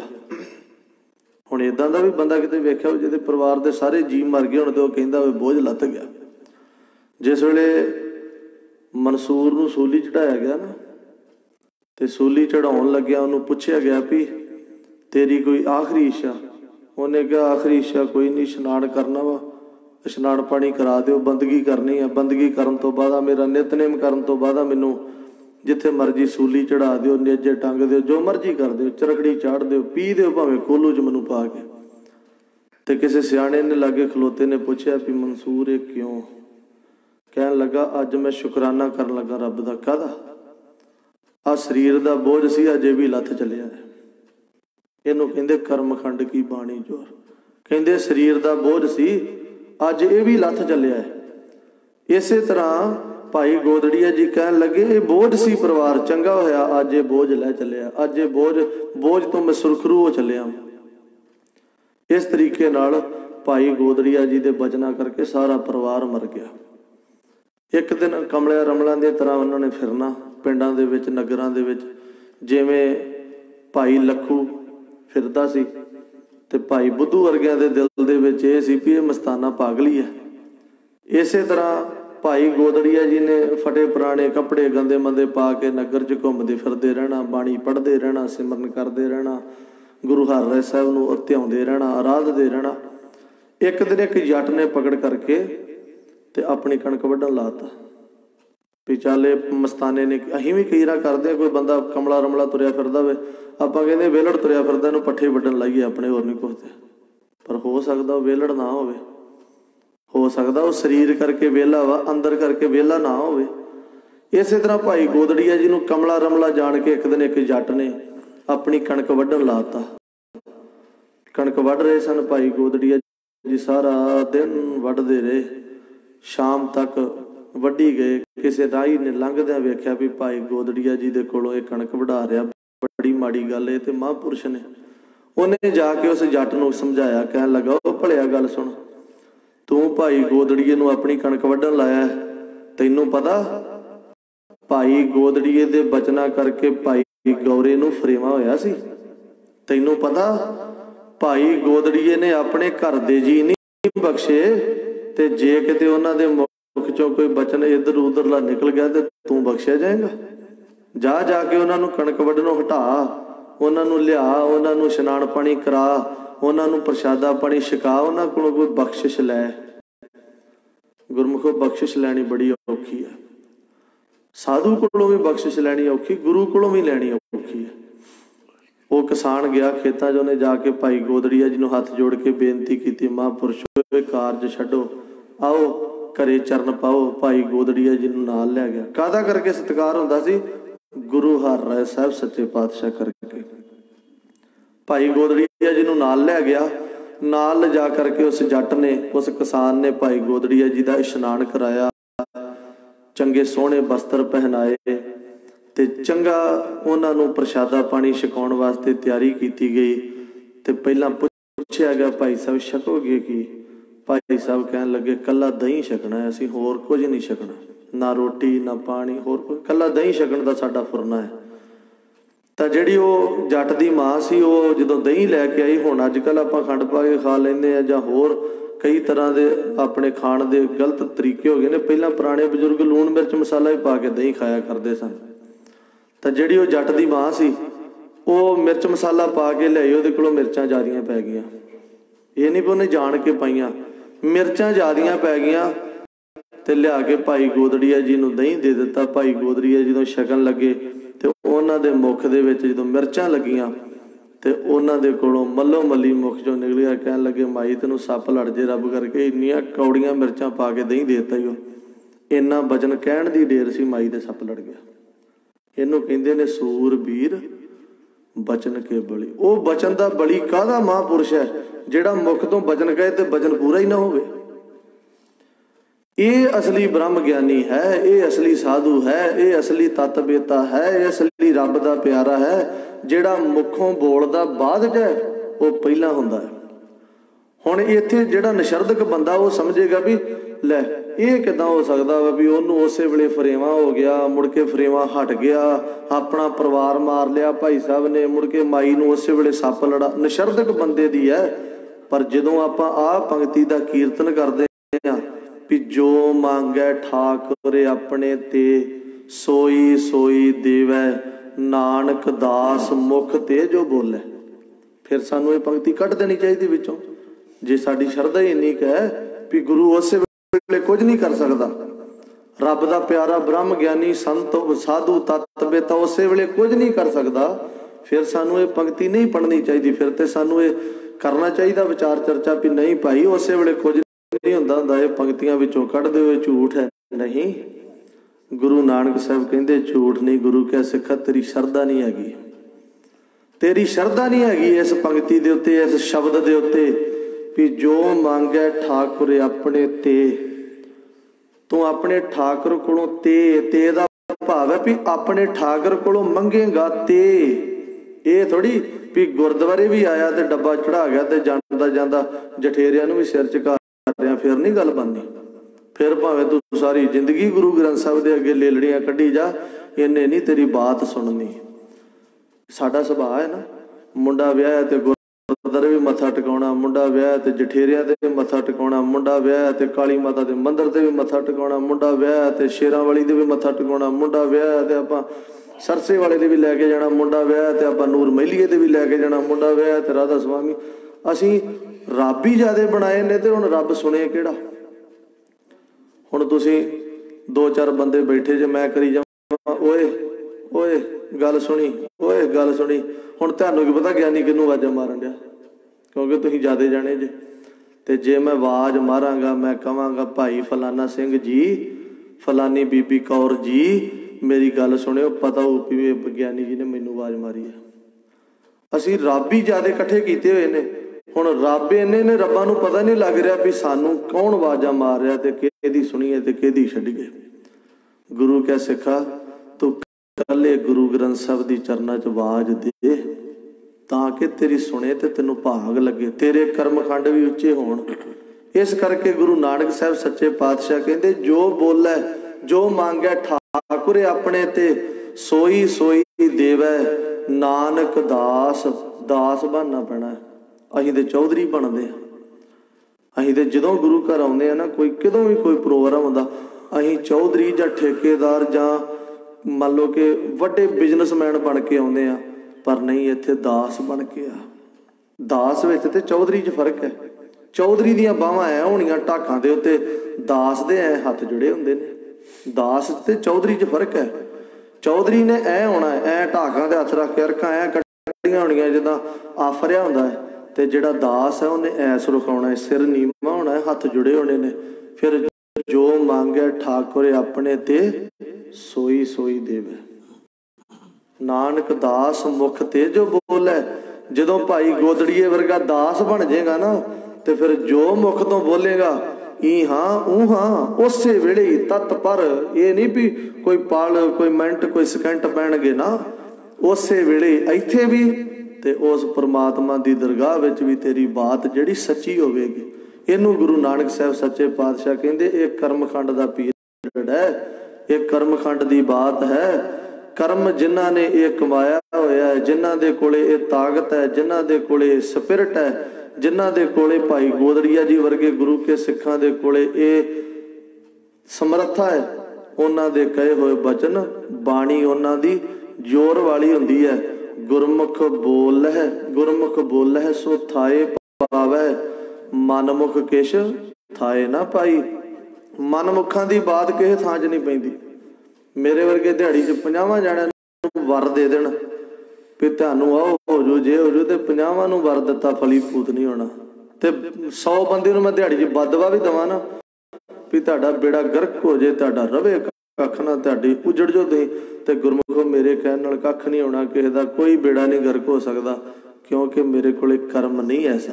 ਜਿਸ ਕਰਕੇ ਗੁਰੂ ਨਾਨਕ ਸਾਹਿਬ ਸੱਚੇ ਪਾਤਸ਼ਾਹ ਕਹਿੰਦੇ ਨੇ, ਕਰਮ ਖੰਡੀਆਂ ਦੀ ਜਿਹੜੀ ਬਾਣੀ ਹੈ ਉਹਦੇ ਵਿੱਚ ਬੜਾ ਵੱਡਾ ਬਲ ਹੁੰਦਾ ਹੈ। ਤਿੱਥੈ ਹੋਰ ਨਾ ਕੋਈ ਹੋਰ। ਇਸ ਅਵਸਥਾ ਦੇ ਵਿੱਚ ਕੋਈ ਹੋਰ ਨਹੀਂ ਪਹੁੰਚ ਸਕਦਾ ਜਿੱਥੇ ਮਹਾਂਪੁਰਸ਼ ਪਹੁੰਚ ਜਾਂਦੇ ਨੇ। ਇੱਥੇ ਸਾਡੇ ਵਰਗੇ ਨਹੀਂ ਪਹੁੰਚ ਸਕਦੇ। ਜਿੱਥੇ ਸਾਧੂ ਦੀ ਬਿਰਤੀ ਪਹੁੰਚਦੀ ਹੈ ਜਿੱਥੇ ਸਾਧੂ ਦੀ ਤਾਕਤ ਹੈ। ਸਾਦਾ ਜੀ ਸਾਦੀ ਜੀ ਉਦਾਹਰਨ ਆਪਾਂ ਨੇ ਲੈਣੀ ਹੈ। ਜਿੱਥੇ ਇਲਾਕੇ ਦੇ ਐਸਐਸਪੀ ਦੀ ਤਾਕਤ ਹੈ ਉੱਥੇ ਸਾਡੀ ਨਹੀਂ ਹੈਗੀ। ਤੇ ਜਿੱਥੇ ਸਟੇਟ ਦੇ ਵਿੱਚ ਸੀਐਮ ਦੀ ਤਾਕਤ ਹੈ, ਉੱਥੇ ਐਸਐਸਪੀ ਦੀ ਨਹੀਂ ਹੈਗੀ। ਤੇ ਜਿੱਥੇ ਦੇਸ਼ ਦੇ ਵਿੱਚ ਪ੍ਰਧਾਨ ਮੰਤਰੀ ਦੀ ਤਾਕਤ ਹੈ, ਉੱਥੇ ਸੀਐਮ ਦੀ ਵੀ ਨਹੀਂ ਹੈਗੀ, ਕਿਉਂਕਿ ਪ੍ਰਧਾਨ ਮੰਤਰੀ ਉਹਦੇ ਤੋਂ ਉੱਚੇ ਅਹੁਦੇ ਤੇ ਬੈਠਾ ਹੈ। ਇਸੇ ਤਰ੍ਹਾਂ ਜਿਹੜੀ ਇਹ ਕਰਮਖੰਡ ਕੀ ਬਾਣੀ ਜੋਰ ਵਾਲੀ ਤਾਕਤ ਹੈ ਨਾ, ਇਹ ਕੇਵਲ ਮਹਾਂਪੁਰਸ਼ਾਂ ਕੋਲੇ ਹੈ, ਹੋਰ ਕਿਸੇ ਕੋਲੇ ਨਹੀਂ ਹੈਗੀ। ਤਿੱਥੇ ਹੋਰ ਨਾ ਕੋਈ ਹੋਰ। ਤੇ ਉਹਨਾਂ ਮਹਾਂਪੁਰਸ਼ਾਂ ਦੇ ਕੋਲੇ ਹੋਰ ਕੋਈ ਐਸੀਆਂ ਰਿਧੀਆਂ ਸਿੱਧੀਆਂ ਵੀ ਨਹੀਂ ਹੁੰਦੀਆਂ। ਉਹਨਾਂ ਮਹਾਂਪੁਰਸ਼ਾਂ ਦੇ ਕੋਲੇ ਰਿਧੀਆਂ ਸਿੱਧੀਆਂ ਜਾਦੂ ਟੂਣੇ ਮੰਤਰ ਨਹੀਂ ਹੁੰਦੇ ਕਿ ਉਹ ਆਪਣੇ ਇਹਨਾਂ ਗਲਤ ਵਸਤੂਆਂ ਨੂੰ ਇਸਤੇਮਾਲ ਕਰ ਨਹੀਂ, ਉਹ ਕੇਵਲ ਤੇ ਕੇਵਲ ਸੱਤ ਨੂੰ ਇਸਤੇਮਾਲ ਕਰਦੇ ਨੇ। ਤਿੱਥੇ ਹੋਰ ਨਾ ਕੋਈ ਹੋਰ। ਉਹਨਾਂ ਮਹਾਂਪੁਰਸ਼ਾਂ ਦੀ ਰਕਾਵਟ ਰਸਤੇ ਦੇ ਵਿੱਚ ਕਿਸੇ ਤਰ੍ਹਾਂ ਦੇ ਕਾਮ, ਕ੍ਰੋਧ, ਲੋਭ, ਮੋਹ, ਹੰਕਾਰ ਦੀ ਵੀ ਰਕਾਵਟ ਨਹੀਂ ਹੁੰਦੀ। ਤਿੱਥੇ ਹੋਰ ਨਾ ਕੋਈ ਹੋਰ। ਉਹਨਾਂ ਦੇ ਰਾਹ ਰਸਤੇ ਦੇ ਵਿੱਚ, ਬੰਦਗੀ ਦੇ ਰਸਤੇ ਦੇ ਵਿੱਚ ਕੋਈ ਮਨੁੱਖ ਵੀ ਕੋਈ ਜੀਵ ਵੀ ਕਿਸੇ ਤਰ੍ਹਾਂ ਦਾ ਬਲ ਲਾ ਕੇ ਉਹਨਾਂ ਨੂੰ ਰੋਕ ਨਹੀਂ ਸਕਦਾ ਉਹਨਾਂ ਨੂੰ ਬੰਦਗੀ ਕਰਨ ਤੋਂ ਹਟਾ ਨਹੀਂ ਸਕਦਾ। ਤਿੱਥੈ ਜੋਧ ਮਹਾਬਲ ਸੂਰ।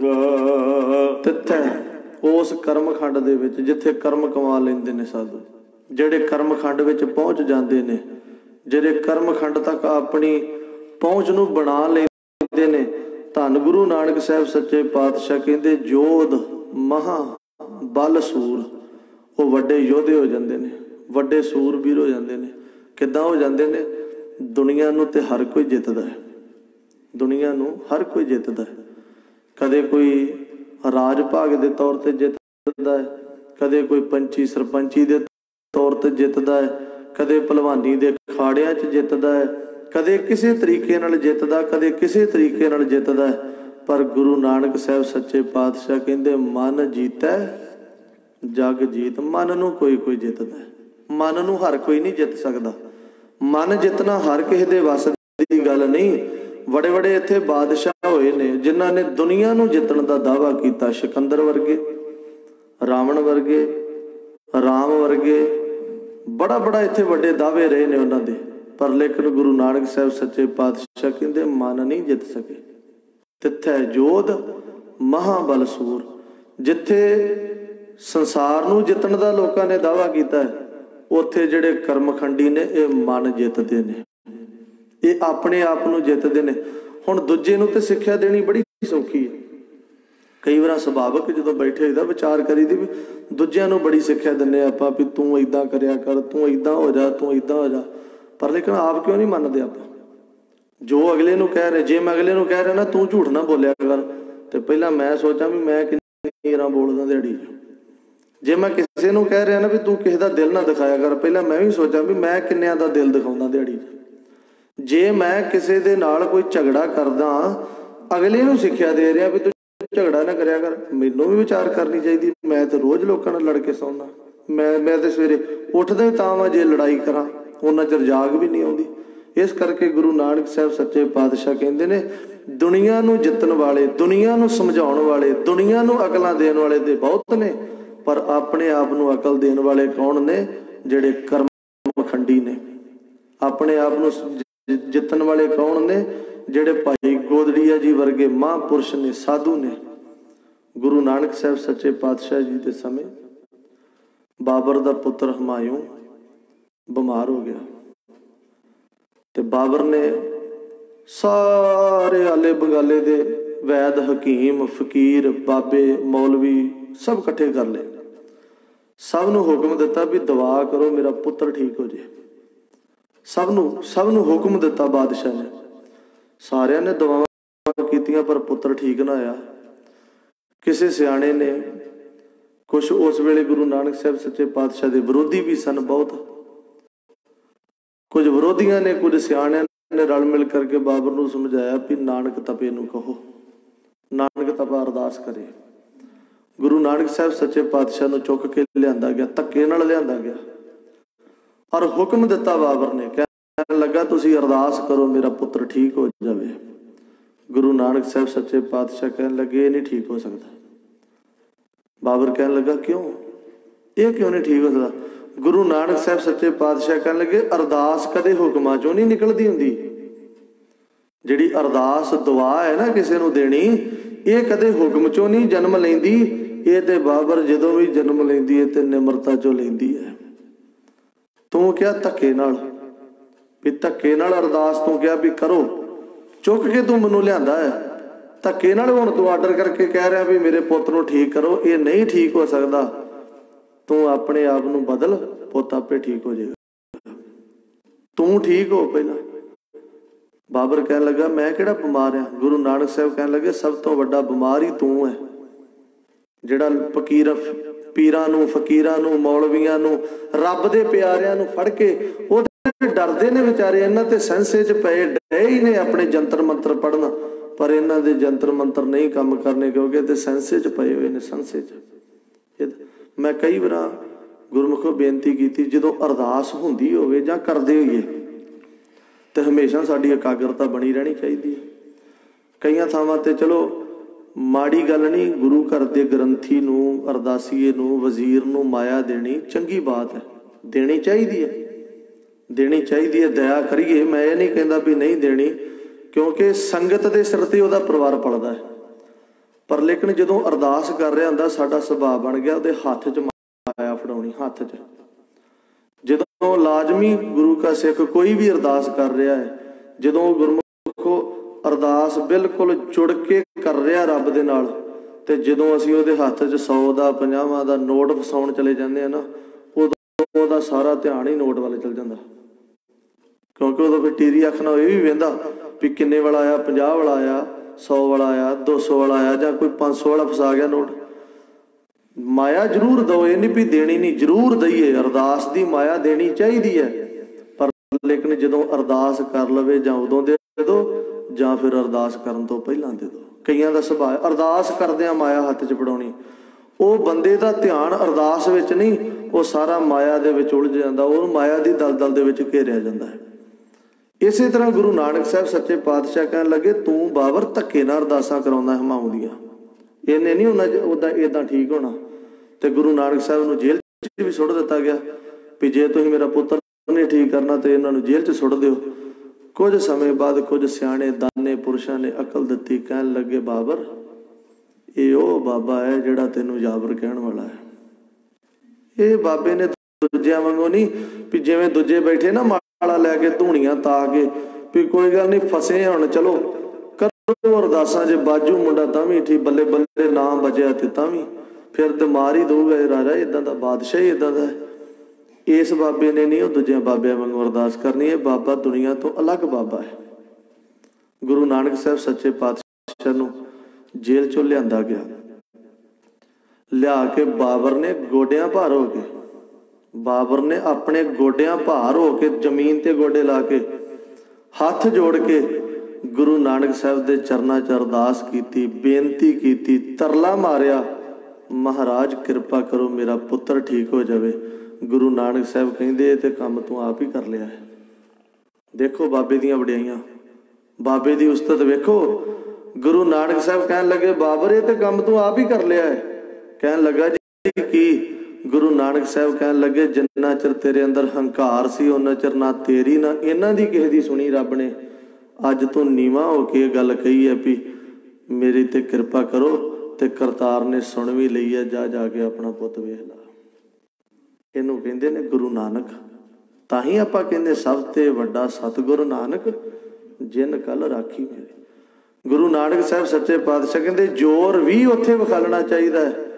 ਜਿੱਥੇ ਜ਼ੋਰ ਵਿਖਾਲਣ ਦਾ ਥਾਂ ਹੋਵੇ, ਅਸੀਂ ਜ਼ੋਰ ਵੀ ਉੱਥੇ ਵਿਖਾਲਦੇ ਜਿੱਥੇ ਰੱਬ ਕੋਲੋਂ ਕੁਝ ਲੈਣ ਦਾ ਕੰਮ ਹੋਵੇ ਸਾਡਾ। ਅਸੀਂ, ਮੈਂ ਸ਼ਾਇਦ ਕਈਆਂ ਨੂੰ ਬੁਰਾ ਲੱਗਦਾ ਹੋਵੇਗਾ, ਪਰ ਗੁਰਮੁਖੋ ਸਚਾਈ ਇਹੋ ਹੀ ਹੈ।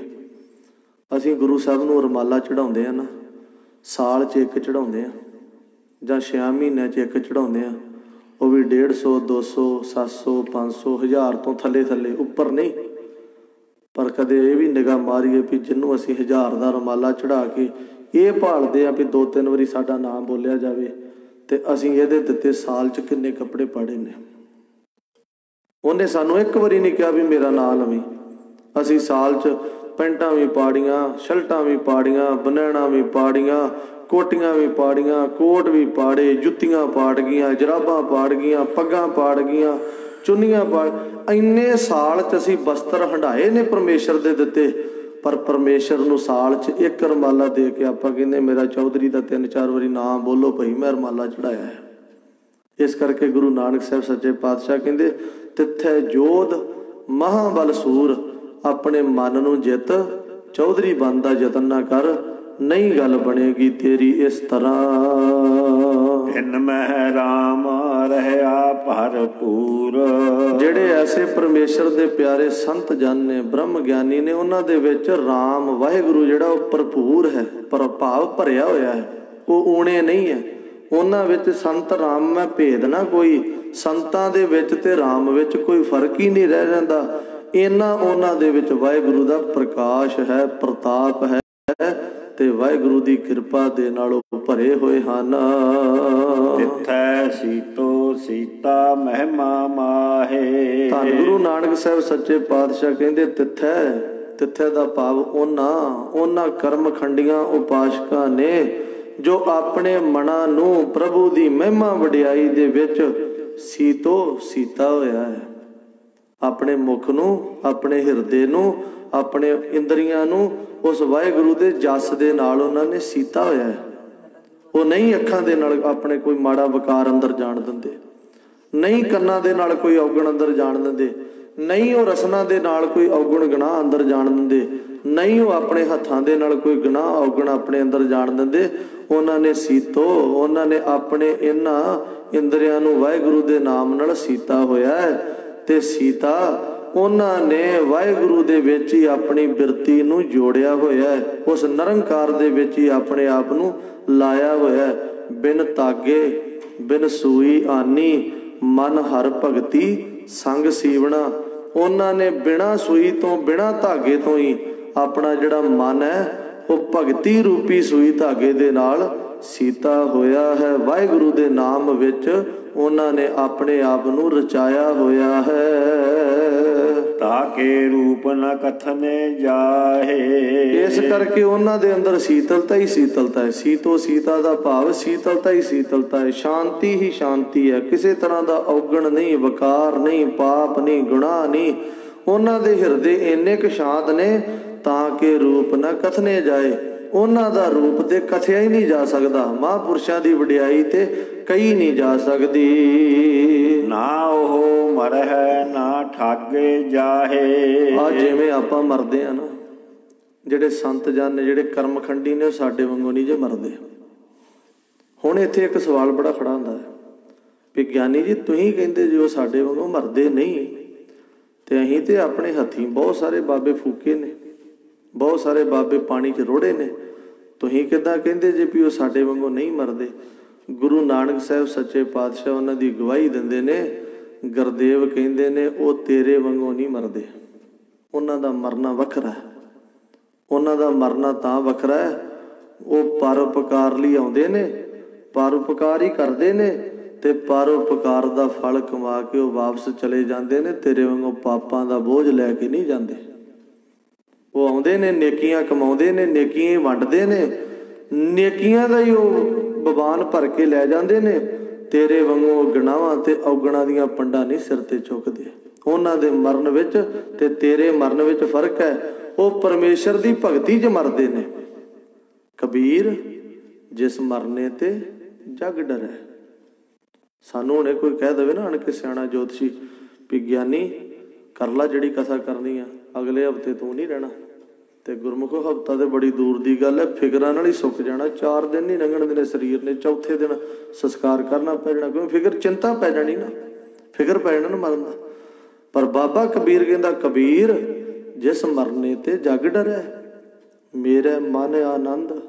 ਤੇ ਬਾਬੇ ਕਬੀਰ ਨੂੰ ਪੁੱਛਿਆ ਵੀ, ਬਾਬਾ, ਤੇਰੇ ਮਨ ਨੂੰ ਕਿਉਂ ਆਨੰਦ ਹੈ? ਬਾਬਾ ਕਹਿੰਦਾ, ਮੇਰੇ ਮਰਨ 'ਚ ਤਾਂ ਆਨੰਦ ਹੈ। ਸਰੀਰ ਦੇ ਵਿੱਚ ਕੋਈ ਗੁਨਾਹ ਹੋ ਗਿਆ ਤੇ ਮੁਖ ਕਾਲਾ ਹੋ ਜੂ ਤੇ ਮਰ ਕੇ ਚੰਗਾ ਕੰਮ ਨਿਬੜੇ ਤੇ ਪਰਮੇਸ਼ਰ ਦੇ ਦਰ ਤੇ ਜਾਈਏ, ਮੁਖ ਤੇ ਉਜਲਾ ਲੈ ਜਾਈਏ ਨਾ। ਪਤਾ ਨਹੀਂ ਕਦੋਂ ਤਿਲਕ ਜਾਣਾ ਇਸ ਪੈਰ ਨੇ। ਬਾਬਾ ਕਬੀਰ ਕਹਿੰਦਾ, ਆਨੰਦ ਤਾਂ ਹੈ ਵੀ ਮਰੀਏ ਤੇ ਪਰਮੇਸ਼ਰ ਦੇ ਦਰ ਤੇ ਚਲੇ ਜਾਈਏ, ਹੁਣ ਤੇ ਮੁਖ ਉਜਲਾ ਹੈ ਕੱਲ ਨੂੰ ਕੀ ਪਤਾ ਕੀ ਹੋ ਜਾਣਾ? ਕਬੀਰ ਜਿਸ ਮਰਨੇ ਤੇ ਜਗ ਡਰੈ, ਮੇਰਾ ਮਨ ਆਨੰਦ, ਮਰਨੇ ਹੀ ਤੇ ਪਾਈ ਹੈ ਪੂਰਨ ਪਰਮਾਨੰਦ। ਪੂਰਨ ਪਰਮਾਨੰਦ ਦੀ ਜਿਹੜੀ ਪ੍ਰਾਪਤੀ ਹੈ, ਉਹ ਸਰੀਰ ਨੂੰ, ਦੇਹੀ ਨੂੰ ਛੱਡ ਕੇ ਹੋਣੀ ਹੈ। ਪਾਪਾਂ, ਵਿਕਾਰਾਂ, ਔਗਣਾ, ਗਨਾਹਾਂ ਨੂੰ ਛੱਡ ਕੇ ਹੋਣੀ ਹੈ। ਜੇ ਔਗਣ, ਗਨਾਹ ਹੋ ਗਿਆ, ਸਰੀਰ ਕੋਲੋਂ ਤੇ ਪਰਮਾਨੰਦ ਦੀ ਪ੍ਰਾਪਤੀ ਨਹੀਂ ਹੋਣੀ। ਪਰਮਾਨੰਦ ਦੀ ਪ੍ਰਾਪਤੀ ਨਹੀਂ ਹੋਣੀ, ਉਹਨੇ ਨਹੀਂ ਮਿਲਣਾ। ਇਸ ਕਰਕੇ ਬਾਬਾ ਕਬੀਰ ਜੀ ਸਾਨੂੰ ਇਹ ਸਿੱਖਿਆ ਦਿੰਦੇ ਨੇ ਤੇ ਗੁਰੂ ਨਾਨਕ ਸਾਹਿਬ ਸੱਚੇ ਪਾਤਸ਼ਾਹ ਵੀ ਸਮਝਾਉਂਦੇ ਨੇ, ਨਾ ਉਹ ਮਰੇ, ਨਾ ਠਾਗੇ ਜਾਏ, ਨਾ ਹੀ ਉਹ ਠੱਗੇ ਜਾਂਦੇ ਨੇ। ਜਿਹੜੇ ਸੰਤ ਨੇ ਉਹ ਨਹੀਂ ਠੱਗੇ ਜਾਂਦੇ। ਤੇ ਮੈਂ ਕਈ ਵਾਰ ਇਹ ਆਧਾਰਨ, ਇਹ ਸਾਖੀ ਆਪ ਜੀ ਦੇ ਸਨਮੁਖ ਰੱਖ ਚੁੱਕਾ ਵਾ ਕਿ ਦੇਖੋ ਸੰਤ ਕਿਵੇਂ ਨਹੀਂ ਠੱਗੇ ਜਾਂਦੇ, ਦੂਜਿਆਂ ਨੂੰ ਠੱਗੇ ਜਾਣ ਨਹੀਂ ਦਿੰਦੇ। ਬਾਲਮੀਕ ਸੰਤਾਂ ਦੇ ਡੇਰੇ ਤੇ ਗਿਆ ਸੀ ਚੋਰੀ ਕਰਨ ਵਾਸਤੇ। ਸੰਤਾਂ ਨੂੰ ਹੀ ਠੱਗਣ ਗਿਆ ਸੀ। ਸੰਤਾਂ ਦਾ ਸਮਾਨ ਚੁੱਕਣ ਗਿਆ ਸੀ। ਸੰਤ ਚਾਦਰਾ ਲੈ ਕੇ ਮੁੱਖ ਤੇ ਪਏ ਸਨ ਤੇ ਕਹਿਣ ਲੱਗੇ, ਓਏ ਬਾਲਮੀਕਾ, ਇਹ ਕੀ ਕਰਨ ਲੱਗਾ ਭਲਿਆ? ਇਹ ਕਿਹੜਾ ਗੁਨਾਹ ਕਰਨ ਲੱਗਾ? ਕਹਿਣ ਲੱਗਾ ਜੀ ਚੋਰੀ। ਬਾਬੇ ਚੋਰੀ ਕਰਨ ਲੱਗਾ।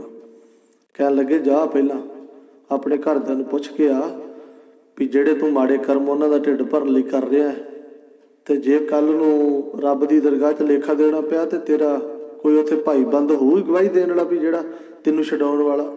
ਜਾਂ ਪੁੱਛ ਗਿਆ ਫਿਰ ਭਾਵੇਂ ਸਾਡਾ ਸਾਰਾ ਹੀ ਡੇਰਾ ਲੈ ਜੀ ਚੁੱਕ ਕੇ। ਬਾਲਮੀਕ ਘਰੇ ਆਇਆ ਘਰ ਵਾਲੀ ਨੂੰ ਪੁੱਛਿਆ, ਮਾਂ ਨੂੰ ਪੁੱਛਿਆ, ਧੀਆਂ ਪੁੱਤਰ ਸਭ ਨੂੰ ਪੁੱਛਿਆ, ਭਾਈ, ਜੇ ਕੱਲ ਨੂੰ ਰੱਬ ਨੇ ਮੇਰੇ ਕੋਲ ਲੇਖਾ ਮੰਗਿਆ ਤਾਂ ਤੁਸੀਂ ਲੇਖਾ ਦਿਓਗੇ? ਸਾਰੇ ਕਹਿਣ ਲੱਗੇ ਵੀ ਨਾ ਅਹੀਂ ਨਹੀਂ ਕੋਈ ਲੇਖਾ ਤੇਰਾ ਦੇਣਾ। ਜੋ ਤੂੰ ਕਰਨਾ, ਉਹ ਤੂੰ ਹੀ ਕਮਾਉਣਾ, ਉਹ ਤੇਰੇ ਪੱਲੇ ਪੈਣਾ ਹੈ। ਤੇ ਭਗਵਾਨ ਬਾਲਮੀਕ ਆ ਕੇ ਸਾਧੂਆਂ ਦੇ ਚਰਨੀ ਪੈ ਗਿਆ, ਕਹਿਣ ਲੱਗਾ, ਜੇ ਮੈਂ ਲੇਖਾ ਦੇਣਾ ਤੇ ਮੈਂ ਮਾੜਾ ਕੰਮ ਕਰਾਂ ਹੀ ਕਿਉਂ? ਹੈ ਬਾਲਮੀਕ ਚੋਰ ਸੀ, ਹੈਗਾ ਠੱਗ ਸੀ, ਪਰ ਕੀ ਬਣ ਗਿਆ? ਬਾਲਮੀਕ ਭਗਵਾਨ ਬਣ ਗਿਆ। ਕਿਦੋਂ ਬਣ ਗਿਆ? ਜਦੋਂ ਘੜਿਆਂ ਹੋਇਆਂ ਦੇ ਸੰਗਤ ਚਲਿਆ ਗਿਆ। ਜਦੋਂ ਕਰਮ ਖੰਡੀਆਂ ਦੀ ਸੰਗਤ ਚ ਚਲਿਆ ਗਿਆ, ਉਹਨਾਂ ਨੇ ਜੀਵਨ ਹੀ ਬਦਲ ਕੇ ਰੱਖ ਦਿੱਤਾ। ਇਸੇ ਤਰ੍ਹਾਂ ਬਾਬਾ ਵਿਧੀ ਚੰਦ ਹੈ ਤੇ ਚੋਰ ਸੀ, ਹੈ ਤੇ ਮੱਝਾਂ ਚੋਰੀ ਕਰਨ ਵਾਲਾ ਬੰਦਾ ਸੀ, ਪਰ ਲੇਕਿਨ ਬਾਬੇ ਅਦਲੀ ਦੀ ਸੰਗਤ ਚ ਚਲਿਆ ਗਿਆ ਤੇ ਬਾਬੇ ਅਦਲੀ ਨੇ ਹੌਲੀ ਹੌਲੀ ਹੌਲੀ ਹੌਲੀ ਬਾਬੇ ਵਿਧੀ ਚੰਦ ਨੂੰ ਗੁਰੂ ਅਰਜਨ ਦੇ ਲੜ ਲਾਤਾ ਤੇ ਗੁਰੂ ਹਰਗੋਬਿੰਦ ਸਾਹਿਬ ਨੇ ਸੱਚੇ ਪਾਤਸ਼ਾਹ ਨੇ ਵਰ ਦੇ ਦਿੱਤਾ, ਵਿਧੀ ਚੰਦ ਸੀਨਾ, ਗੁਰੂ ਕਾ ਸੀਨਾ। ਇਹ ਤੇ ਮੇਰਾ ਸੀਨਾ ਹੈ ਤੇ ਮੇਰਾ ਦਿਲ ਹੈ, ਇਹ ਤੇ ਸੀਨਿਆਂ ਦੀ ਜਿਹੜੀ ਗੋਦ ਹੈ, ਇਹ ਤੇ ਮੇਰਾ ਜਿਗਰ ਹੈ, ਗੁਰੂ ਹਰਗੋਬਿੰਦ ਸਾਹਿਬ ਸੱਚੇ ਪਾਤਸ਼ਾਹ ਨੇ ਉਸਤਤ ਦੇ ਦਿੱਤੀ, ਵਡਿਆਈ ਦੇ ਦਿੱਤੀ। ਨਾ ਉਹ ਮਰੇ, ਨਾ ਠਾਗੇ ਜਾਏ। ਬਾਬਾ ਵਿਧੀ ਚੰਦ ਨਾ ਮਰਿਆ ਹੀ ਹੈ, ਨਾ ਠੱਗਿਆ ਗਿਆ, ਨਾ ਭਗਵਾਨ ਬਾਲਮੀਕ ਮਰਿਆ ਹੀ ਹੈ, ਨਾ ਠੱਗਿਆ ਹੀ ਗਿਆ। ਮਰਨਾ ਵੀ ਆਪਾਂ ਹੈ, ਠੱਗੇ ਵੀ ਆਪਾਂ ਜਾ ਰਹੇ ਆ ਕਦੇ ਸਾਨੂੰ ਕਾਮ ਠੱਗ ਲੈਂਦਾ, ਕਦੇ ਕ੍ਰੋਧ ਠੱਗ ਲੈਂਦਾ, ਕਦੇ ਲੋਭ ਠੱਗ ਲੈਂਦਾ, ਕਦੇ ਹੰਕਾਰ ਠੱਗ ਲੈਂਦਾ। ਕਦੇ ਸਾਨੂੰ ਕੋਈ ਚੀਜ਼ ਠੱਗ ਕੇ ਤੁਰ ਜਾਂਦੀ, ਕਦੇ ਕੋਈ ਠੱਗ ਕੇ ਤੁਰ ਜਾਂਦੀ। ਠੱਗਾਂ ਨੇ ਹੌਲੀ ਹੌਲੀ ਠੱਗ ਲੈਣਾ, ਅੰਤ ਨੂੰ ਮਰ ਜਾਣਾ, ਲੱਕੜਾਂ ਨੇ ਸਾੜ ਕੇ ਸਵਾਹ ਕਰ ਦੇਣਾ।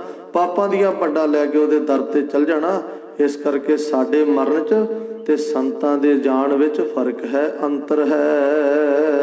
ਜਿਨ ਕੈ RAM ਵਸੈ ਮਨ ਮਾਹੇ। ਉਹਨਾਂ ਦੇ ਹਿਰਦੇ ਦੇ ਵਿੱਚ RAM ਵਸਦਾ ਹੈ। ਕਿਵੇਂ? ਜਿਵੇਂ RAM ਜਿਵੇਂ ਰਾਮਚੰਦਰ ਜੀ ਹਨੂਮਾਨ ਦੇ ਹਿਰਦੇ 'ਚ ਵਸਦੇ ਸਨ। ਇਸੇ ਤਰ੍ਹਾਂ ਰੱਬ ਦੇ ਪਿਆਰਿਆਂ ਦੇ ਹਿਰਦੇ ਦੇ ਵਿੱਚ RAM ਵਸਦਾ ਹੈ। ਮਨ ਮਾਹੇ ਉਹਨਾਂ ਦੇ ਮਨ RAM ਦੇ ਨਾਲ ਭਰਪੂਰ ਹਨ। ਤੈ ਭਗਤ ਵਸੈ ਕੇ ਲੋ ਉਹ ਅਵਸਥਾ ਵਿੱਚ ਕਿੰਨੇ ਹੀ ਸਰੂਪ ਲੋ ਪ੍ਰਕਾਸ਼ ਵਾਲੇ ਕਿੰਨੇ ਹੀ ਭਗਤ ਜਨ ਵਸਦੇ ਹਨ ਕਿੰਨੇ ਹੀ ਸੰਤ ਜਨ ਵਸਦੇ ਹਨ। ਹੋਰ ਕਿਸੇ ਤਰ੍ਹਾਂ ਦਾ ਕੋਈ ਉਹਨਾਂ ਦੇ ਹਿਰਦੇ ਦੇ ਵਿੱਚ ਕੋਈ ਟਿਕਾਣਾ ਨਹੀਂ ਕਿਸੇ ਤਰ੍ਹਾਂ ਦੀ ਸੋਚ ਤੇ ਵਿਚਾਰ ਨਹੀਂ। ਕੇਵਲ ਤੇ ਕੇਵਲ ਭਗਤਾਂ ਦੇ ਹਿਰਦੇ ਦੇ ਵਿੱਚ ਭਗਤੀ ਦਾ ਹੀ ਪ੍ਰਕਾਸ਼ ਲੋ ਚਾਨਣ ਹੈ। ਕਰਹਿ ਆਨੰਦ ਸੱਚਾ ਮਨ ਸੋਏ। ਤੇ ਉਹ ਸੱਚ ਦੇ ਮਗਰ ਲੱਗ ਕਰਕੇ ਕਰਹਿ ਆਨੰਦ ਆਨੰਦ ਲੈਂਦੇ ਨੇ। ਕਾਦੇ ਲਈ? ਸੱਚਾ ਮਨ ਸੋਏ। ਉਹ ਸੱਚੇ ਪਰਮੇਸ਼ਰ ਦੇ ਨਾਮ ਵਿੱਚ ਆਪਣਾ ਮਨ ਲਾ ਕੇ ਉਹ ਪ੍ਰੇਮਾ ਭਗਤੀ ਦੇ ਵਿੱਚ ਆਪਣੇ ਮਨ ਨੂੰ ਲਾ ਕਰਕੇ ਉਹ ਪਰਮੇਸ਼ਰ ਦਾ ਆਨੰਦ ਪ੍ਰਾਪਤ ਕਰਦੇ ਹਨ। ਸੱਚ ਖੰਡ ਵਸੈ ਨਿਰੰਕਾਰ। ਉਹਨਾਂ ਭਗਤਾਂ ਮਹਾਂਪੁਰਸ਼ਾਂ ਸੰਤਾਂ ਨੂੰ ਕਰਮ ਖੰਡੀਆਂ ਨੂੰ ਇਹ ਜਾਣਕਾਰੀ ਹੈ ਕਿ ਜਿਹੜਾ ਨਿਰੰਕਾਰ ਹੈ ਉਹਦਾ ਦਰ ਸੱਚਖੰਡ ਹੈ ਤੇ ਉਥੇ ਉਹ ਵਸਦਾ ਹੈ। ਕਰ ਕਰ ਵੇਖੈ ਨਦਰ ਨਿਹਾਲ। ਕਰ ਪੈਦਾ ਕਰਕੇ ਸਾਰਿਆਂ ਨੂੰ ਪੈਦਾ ਕੀਤਾ ਉਹਨੇ। ਸਾਰਿਆਂ ਨੂੰ। ਕਰਮ ਸਾਰਿਆਂ ਤੇ ਕਰ ਰਿਹਾ ਹੈ। ਹੁਣ ਇਹ ਸੂਰਜ ਨੇ ਚੜ੍ਹਨਾ ਹੋਰ ਘੜੀ ਨੂੰ। ਚਲੋ ਧੁੰਦਾਂ ਪੈਂਦੀਆਂ, ਹੁਣ ਤਾਂ ਨਹੀਂ ਚੜੂਗਾ ਪਰ ਜਦੋਂ ਕਿਤੇ ਸੂਰਜ ਚੜੇ ਤੇ ਤੁਸੀਂ ਇਸ ਪੰਕਤੀ ਦੀ ਕਥਾ ਆਪ ਖੁਦ ਕਰ ਲੈਣੀ। ਗੁਰਦੇਵ ਕਹਿੰਦੇ, ਕਰ ਕਰ ਵੇਖੈ ਨਦਰ ਨਿਹਾਲ। ਜਦੋਂ ਸੂਰਜ ਚੜੇਗਾ ਨਾ, ਤੇ ਤੁਸੀਂ ਅੱਖਾਂ ਬੰਦ ਕਰ ਲੈਣੀਆਂ। ਤੁਹਾਡੇ ਭਾਅ ਦਾ ਨਹੀਂ ਚੜਿਆ ਹੋਇਆ। ਸੂਰਜ ਦੀਆਂ ਕਿਰਨਾਂ ਤੁਹਾਡੇ ਸਰੀਰ ਤੇ ਪੈ ਰਹੀਆਂ, ਪਰ ਤੁਸੀਂ ਫਾਇਦਾ ਕੋਈ ਨਹੀਂ ਲੈ ਰਹੇ ਉਹਦਾ। ਸੂਰਜ ਚੜਿਆ ਰੋਸ਼ਨੀ ਦੇ ਰਿਹਾ ਕਿਰਨਾਂ ਦੇ ਰਿਹਾ ਸਭ ਕੁਝ ਕਰ ਰਿਹਾ ਹੈ। ਸਾਡੀਆਂ ਅੱਖਾਂ ਬੰਦ ਹੋਣ ਕਰਕੇ ਆਪਾਂ ਘਾਟੇ 'ਚ ਜਾ ਰਹੇ ਸਾਡੀਆਂ ਅੱਖਾਂ ਬੰਦ ਹੋਣ ਕਰਕੇ ਆਪਾਂ ਸੂਰਜ ਤੋਂ ਕੋਈ ਫਾਇਦਾ ਨਹੀਂ ਲੈ ਰਹੇ। ਇਸੇ ਤਰ੍ਹਾਂ ਗੁਰੂ ਨਾਨਕ ਸਾਹਿਬ ਸੱਚੇ ਪਾਤਸ਼ਾਹ ਕਹਿੰਦੇ, ਵਾਹਿਗੁਰੂ ਤੇ ਸਾਰਿਆਂ ਤੇ ਹੀ ਕਰਮ ਕਰ ਰਿਹਾ ਹੈ। ਉਹ ਸ਼ਰਾਬੀਆਂ, ਕਬਾਬੀਆਂ, ਵਿਭਚਾਰੀਆਂ, ਐਬੀਆਂ, ਔਗਣਾ, ਹਾਰਿਆਂ, ਗੁਨਾਹਾਂ ਸਭ ਤੇ ਉੱਤੇ ਕਰਮ ਕਰ ਰਿਹਾ ਹੈ। ਫ਼ਰਕ ਸਿਰਫ ਇੰਨਾ ਹੈ, ਗੁਰਮੁਖਾਂ ਦੀਆਂ ਅੱਖਾਂ ਖੁੱਲੀਆਂ ਨੇ, ਉਹ ਲਾਭ ਲੈ ਰਹੇ ਨੇ। ਤੇ ਜਿਹੜੇ ਮਨਮੁਖ ਨੇ, ਨਾਸਤਕ ਨੇ, ਨਗੁਰੇ ਨੇ, ਨਿਸ਼ਰਦਕ ਨੇ, ਉਹਨਾਂ ਦੀਆਂ ਅੱਖਾਂ ਬੰਦ ਨੇ ਤੇ ਲਾਭ ਕੋਈ ਨਹੀਂ ਲੈ ਰਹੇ, ਲਾਭ ਕੋਈ ਨਹੀਂ ਪ੍ਰਮਾਤਮਾ ਤੋਂ ਲੈ ਰਹੇ। ਉਹਨਾਂ ਨੇ ਅੱਖਾਂ ਬੰਦ ਕੀਤੀਆਂ। ਵਾਹਿਗੁਰੂ ਤੇ ਕਿਰਪਾ ਕਰ ਹੀ ਰਿਹਾ ਹੈ। ਪਰ ਅੱਖਾਂ ਬੰਦ ਹੋਣ ਕਰਕੇ ਲਾਭ ਕੋਈ ਨਹੀਂ ਪ੍ਰਾਪਤ ਹੋ ਰਿਹਾ। ਕੁਝ ਮਿਲ ਕੋਈ ਨਹੀਂ ਰਿਹਾ। ਆਪਾਂ ਕੋਈ ਉਹਦੇ ਤੋਂ ਫਾਇਦਾ ਕੋਈ ਨਹੀਂ ਲੈ ਰਹੇ। ਇਸੇ ਤਰ੍ਹਾਂ ਗੁਰੂ ਨਾਨਕ ਸਾਹਿਬ ਸੱਚੇ ਪਾਤਸ਼ਾਹ ਕਹਿੰਦੇ, ਕਰ ਕਰ ਉਹ ਪਰਮਾਤਮਾ ਸਾਰੀ ਸ੍ਰਿਸ਼ਟੀ ਨੂੰ ਪੈਦਾ ਕਰਕੇ ਤੇ ਕਰ ਆਪਣੀ ਸਤਿਆ ਦੇ ਕਰਕੇ ਉਹ ਸਾਰਿਆਂ ਨੂੰ ਵੇਖਿਆ ਵੇਖ ਰਿਹਾ ਹੈ ਤੇ ਨਦਰ ਨਿਹਾਲ ਆਪਣੀ ਨਦਰ ਨਾਲ ਸਭ ਨੂੰ ਨਿਹਾਲ ਕਰ ਰਿਹਾ ਹੈ। ਪਰ ਉਹਦੀ ਨਦਰ ਦਾ ਫਾਇਦਾ ਕੌਣ ਲੈ ਰਹੇ ਨੇ ਜਿਹੜੇ ਕਰਮਖੰਡੀ ਸਾਧੂ ਹਨ? ਜਿੱਥੈ ਖੰਡ ਮੰਡਲ ਮਰ ਭੰਡ। ਜਿੱਥੇ ਜਿੱਥੇ ਵੀ ਕਿਤੇ ਖੰਡਾਂ 'ਚ ਬ੍ਰਹਿਮੰਡਾਂ 'ਚ ਮੰਡਲਾਂ 'ਚ ਚੰ드ਰਮਾ ਸੂਰਜ ਤਾਰੇ ਆਕਾਸ਼ ਧਰਤੀ ਸਭ ਜਗ੍ਹਾ ਦੇ ਉੱਤੇ ਉਸ ਪਰਮਾਤਮਾ ਦਾ ਪ੍ਰਤਾਪ ਹੈ। ਸਭ ਜਗ੍ਹਾ ਤੇ ਉਹਦਾ ਨਿਵਾਸ ਹੈ। ਜੇ ਕੋ ਕਥੈ ਤਾਂਤ ਨਾੰਤ। ਤੇ ਸਾਰੇ ਖੰਡਾਂ ਬ੍ਰਹਿਮੰਡਾਂ ਦੇ ਵਿੱਚ ਉਹਦੇ ਭਗਤ ਨੇ। ਜ਼ਰੂਰੀ ਨਹੀਂ ਵੀ ਇਕੱਲੇ ਇਸ ਇਹ ਆਪਾਂ ਮਨੁੱਖਾ ਦੇ ਹੀ ਜੀ ਭਗਤੀ ਕਰਨ ਵਾਲੇ ਆ ਸਾਰਿਆਂ ਦੇਸ਼ਾਂ 'ਚ ਭਗਤ ਨੇ ਸਾਰੀਆਂ ਕੌਮਾਂ 'ਚ ਭਗਤ ਨੇ ਸਾਰਿਆਂ ਮਜਬਾਂ 'ਚ ਭਗਤ ਨੇ। ਜੇ ਗੁਲਾਬ ਦਾ ਫੁੱਲ ਹਿੰਦੁਸਤਾਨ 'ਚ ਉੱਗਦਾ ਤੇ ਗੁਲਾਬ ਦਾ ਫੁੱਲ ਪਾਕਿਸਤਾਨ ਵੀ ਉੱਗਦਾ ਹੈ। ਗੁਲਾਬ ਦਾ ਫੁੱਲ ਅਮਰੀਕਾ 'ਚ ਵੀ ਉੱਗਦਾ ਹੈ। ਗੁਲਾਬ ਦਾ ਫੁੱਲ ਇਰਾਕ, ਇਰਾਨ 'ਚ ਵੀ ਉੱਗਦਾ ਹੈ। ਗੁਲਾਬ ਦਾ ਫੁੱਲ ਸੁੱਕੀ ਸੜੀ ਦੁਬਈ 'ਚ ਵੀ ਉੱਗਦਾ ਹੈ, ਜਿੱਥੇ ਪਾਣੀ ਦੀ ਬਹੁਤ ਮਾਤਰਾ ਘੱਟ ਹੈ। ਇਸੇ ਤਰ੍ਹਾਂ ਜਿਹੜੇ ਸਾਧੂ ਨੇ, ਸੰਤ ਨੇ ਬ੍ਰਹਮ ਗਿਆਨੀ ਨੇ, ਰੱਬ ਦੇ ਕਰਮ ਖੰਡੀ ਪਿਆਰੇ ਨੇ, ਉਹ ਸਾਰੇ ਖੰਡਾਂ, ਬ੍ਰਹਿਮੰਡਾਂ 'ਚ ਹਨ। ਉਹ ਐਸ ਖੰਡ ਬ੍ਰਹਮੰਡ ਵਿੱਚ ਵੀ ਜਿੱਥੇ ਆਪਾਂ ਵੇਖ ਰਹੇ ਇੱਥੇ ਵੀ ਨੇ ਜਿਹੜੇ ਸਾਡੇ ਤੋਂ ਗੁਪਤ ਨੇ ਉੱਥੇ ਵੀ ਨੇ। ਜੇ ਕੋ ਕਥੈ ਤਾਂ ਅੰਤ ਨ ਅੰਤ ਉਹਨਾਂ ਦਾ ਕਥਨ ਨਹੀਂ ਕੀਤਾ ਜਾ ਸਕਦਾ। ਜੇ ਕੋਈ ਕਹੀ ਵੀ ਜਾਵੇ ਗੱਲ ਪਰ ਉਹਨੂੰ ਵੀ ਅੰਤ ਨੂੰ ਇਹ ਬਾਤ ਕਹਿਣੀ ਪਵੇਗੀ ਵੀ ਨਹੀਂ ਵਾਹਿਗੁਰੂ ਤੂੰ ਬੇਅੰਤ ਤੇ ਤੇਰੇ ਨਾਮ ਜਪਣ ਵਾਲੇ ਸੰਤ ਬ੍ਰਹਮ ਗਿਆਨੀ ਵੀ ਅਨੰਤ ਬੇਅੰਤ ਹਨ। ਇਥੈ ਲੋ ਲੋ ਆਕਾਰ। ਉਹ ਵਾਹਿਗੁਰੂ ਅਕਾਲ ਪੁਰਖ ਦੇ ਜਿਹੜੇ ਕਰਮਖੰਡੀ ਹਨ, ਗੁਰਮੁਖ ਹਨ, ਬ੍ਰਹਮ ਬੇਤੇ ਹਨ, ਉਹਨਾਂ ਦੇ ਅੰਦਰ ਤੇਰੇ ਨਾਮ ਦਾ ਲੋ ਪ੍ਰਕਾਸ਼ ਹੈ, ਗਿਆਨ ਹੈ ਤੇ ਉਹ ਸਾਰਿਆਂ ਲੋ ਲੋਕਾਂ ਦੇ ਵਿੱਚ ਗਿਆਨ ਪ੍ਰਕਾਸ਼ ਵੰਡਣ ਵਾਲੇ ਹਨ। ਹੱਡ ਚੰਮ ਦਾ ਆਕਾਰ ਨਹੀਂ ਉਹਨਾਂ ਦਾ ਉਹਨਾਂ ਦਾ ਜਿਹੜਾ ਜੀਵਨ ਹੈ ਉਹ ਕੇਵਲ ਲੋ ਹੈ, ਪ੍ਰਕਾਸ਼ ਹੈ, ਜਿਵੇਂ ਸਾਧੂ ਹੈ, ਜਿਵੇਂ ਸੰਤ ਹੈ, ਮਹਾਪੁਰਸ਼ ਹੈ। ਸੰਤ ਦਾ ਸਰੀਰ ਨਹੀਂ, ਸੰਤ ਦਾ ਗਿਆਨ ਪ੍ਰਕਾਸ਼ ਹੈ। ਸੰਤ ਦਾ ਕੰਮ ਸਾਨੂੰ ਗਿਆਨ ਦੇਣਾ ਹੈ, ਸੰਤ ਦਾ ਕੰਮ ਸਾਨੂੰ ਲੋ ਦੇਣੀ ਹੈ, ਸੰਤ ਦਾ ਕੰਮ ਜਿਵੇਂ ਦੀਵੇ ਦਾ ਕੰਮ ਚਾਨਣ ਦੇਣਾ ਹੈ ਖਾਣਾ ਬਲਬ ਹੈ ਲੱਗਾ ਹੈ, ਇਹਦਾ ਕੰਮ ਚਾਨਣ ਦੇਣਾ ਹੈ ਉਦਾਂ ਆਪਾਂ ਇਹਨੂੰ ਲਾ ਕੇ ਰੱਖ ਲਈਏ, ਆਪਣੇ ਕਿਸੇ ਕੰਮ ਨਹੀਂ ਹੈਗਾ ਲਾ ਕੇ ਇਹਨੂੰ ਭਾਵੇਂ ਆਪਾਂ ਸੋਨੇ ਦੀ ਡੱਬੀ 'ਚ ਮੜਾ ਕੇ ਰੱਖ ਲਈਏ ਨਾ, ਵੀ ਨਹੀਂ ਭਈ ਇਹ ਬੜਾ ਪਿਆਰਾ ਹੈ, ਮੈਂ 2 250 ਦਾ ਖਰੀਦਿਆ ਮੈਂ ਇਹਨੂੰ ਰੱਖ ਉਦਾਂ ਇਹਦਾ ਕੋਈ ਕੰਮ ਹੈ ਹੀ ਨਹੀਂ, ਸਿਰਫ ਇਹ ਲੋ ਦੇਣ ਦੇ ਕੰਮ ਆਉਂਦਾ, ਚਾਨਣ ਦੇਣ ਦੇ। ਇਦਾਂ ਜਿਹੜੇ ਸਾਧੂ ਨੇ, ਉਹ ਸਾਨੂੰ ਲੋ ਤੇ ਪ੍ਰਕਾਸ਼ ਦੇਣ ਦੇ ਕੰਮ ਆਉਂਦੇ ਨੇ। ਕਿਉਂ? ਉਹਨਾਂ ਕੋਲੇ ਲੋ ਤੇ ਪ੍ਰਕਾਸ਼ ਹੈ। ਤਿੱਥੇ ਲੋ ਲੋ ਆਕਾਰ। ਹੁਣ ਇਹ ਬਲਬ ਹੈ ਤੇ ਇਹਦੇ ਕੋਲੇ ਲਾਈਟ ਹੈ। ਇਹਦੇ ਕੋਲੇ ਚਾਨਣ ਦੇਣ ਦੀ ਸੱਤਿਆ ਹੈ, ਤਾਕਤ ਹੈ। ਜੇ ਇਹ ਸੜ ਜੇ ਤੇ ਫਿਰ ਤੇ ਕਿਸੇ ਕੰਮ ਨਹੀਂ। ਸੜਨਾ ਇਹਨੇ ਤਾਂ ਹੈ, ਕਿਉਂਕਿ ਇਹਦਾ ਬੱਤੀ ਨਾਲੋਂ ਸੰਪਰਕ ਟੁੱਟ ਜਾਣਾ ਹੈ। ਇਹਦਾ ਲੈਟ ਦੇ ਨਾਲੋਂ। ਜਿਹੜੇ ਆਪਾਂ ਵਾਂ, ਸਾਡਾ ਰੱਬ ਨਾਲੋਂ ਸੰਪਰਕ ਟੁੱਟਾ, ਤਾਂ ਹੀ ਤੇ ਸਾਡੇ ਕੋਲੇ ਲੋ ਨਹੀਂ ਚਾਨਣ ਨਹੀਂ, ਪ੍ਰਕਾਸ਼ ਨਹੀਂ। ਨਾ ਮੈਂ ਤੁਹਾਨੂੰ ਕੋਈ ਚੰਗੀ ਸਿੱਖਿਆ ਦੇ ਦੇ ਸਕਦਾ, ਨਾ ਸੰਸਾਰ ਦਾ ਕੋਈ ਬੰਦਾ ਅੱਗੇ ਹੋਰ ਕਿਸੇ ਨੂੰ ਚੰਗੀ ਸਿੱਖਿਆ ਦੇ ਸਕਦਾ। ਤੇ ਜਿਹੜੇ ਮਹਾਪੁਰਸ਼ ਨੇ, ਉਹ ਜਗਦੇ ਹੋਏ ਬਲਬ ਨੇ, ਜਗਦੇ ਹੋਏ ਲੈਂਪ ਨੇ। ਕਿਉਂ? ਉਹਨਾਂ ਦਾ ਕੰਮ ਚਾਨਣ ਦੇਣਾ, ਪ੍ਰਕਾਸ਼ ਦੇਣਾ। ਪ੍ਰਕਾਸ਼ ਤਾਂ ਦੇ ਰਹੇ ਨੇ, ਉਹਨਾਂ ਦੇ ਕੋਲ ਪ੍ਰਕਾਸ਼ ਹੈ। ਇਸ ਕਰਕੇ ਗੁਰੂ ਨਾਨਕ ਸਾਹਿਬ ਸੱਚੇ ਪਾਤਸ਼ਾਹ ਕਹਿੰਦੇ, ਭਾਵੇਂ ਸੂਖਮ, ਭਾਵੇਂ ਕਾਰਨ, ਭਾਵੇਂ ਸਥੂਲ ਉਹਨਾਂ ਦੀਆਂ ਜਿਹੜੀਆਂ ਇਹ ਤਿੰਨੇ ਆਕਾਰ ਨੇ, ਉਹ ਸਾਰੇ ਗਿਆਨ ਦਾ ਹੀ, ਪ੍ਰਕਾਸ਼ ਦਾ ਹੀ ਆਕਾਰ ਹਨ। ਜਿਵ ਜਿਵ ਹੁਕਮ ਤਿਵੈ ਤਿਵਕਾਰ ਜਿਵੇਂ ਜਿਵੇਂ ਵਾਹਿਗੁਰੂ ਉਹਨਾਂ ਦੇ ਕੋਲੋਂ ਹੁਕਮ ਕਰਾ ਕੇ ਕਾਰ ਕਰਾ ਰਿਹਾ ਉਹ ਕਰ ਰਹੇ ਨੇ। ਵਾਹਿਗੁਰੂ ਦੇ ਹੁਕਮ ਤੋਂ ਬਾਹਰ ਉਹ ਕੋਈ ਕਾਰਜ ਨਹੀਂ ਕਰਦੇ। ਵੇਖੈ ਵਿਖਸੈ ਕਰ ਵਿਚਾਰ। ਉਹ ਪ੍ਰਭੂ ਦੀ ਵਿਚਾਰ ਨੂੰ ਕਰਕੇ ਵੇਖਿਆ ਪ੍ਰਤੱਖ ਵੇਖ ਲੈਂਦੇ ਨੇ ਵੀ ਉਹ ਅਕਾਲ ਪੁਰਖ ਪ੍ਰਮਾਤਮਾ ਸਾਡੇ ਤੇ ਕੀ ਪ੍ਰਸੰਨਤਾ ਕਰ ਰਿਹਾ ਹੈ। ਕੀ ਖੇੜਾ ਸਾਡੇ ਤੇ ਕਰ ਰਿਹਾ? ਨਾਨਕ ਭਗਤਾਂ ਸਦਾ ਵਿਗਾਸ।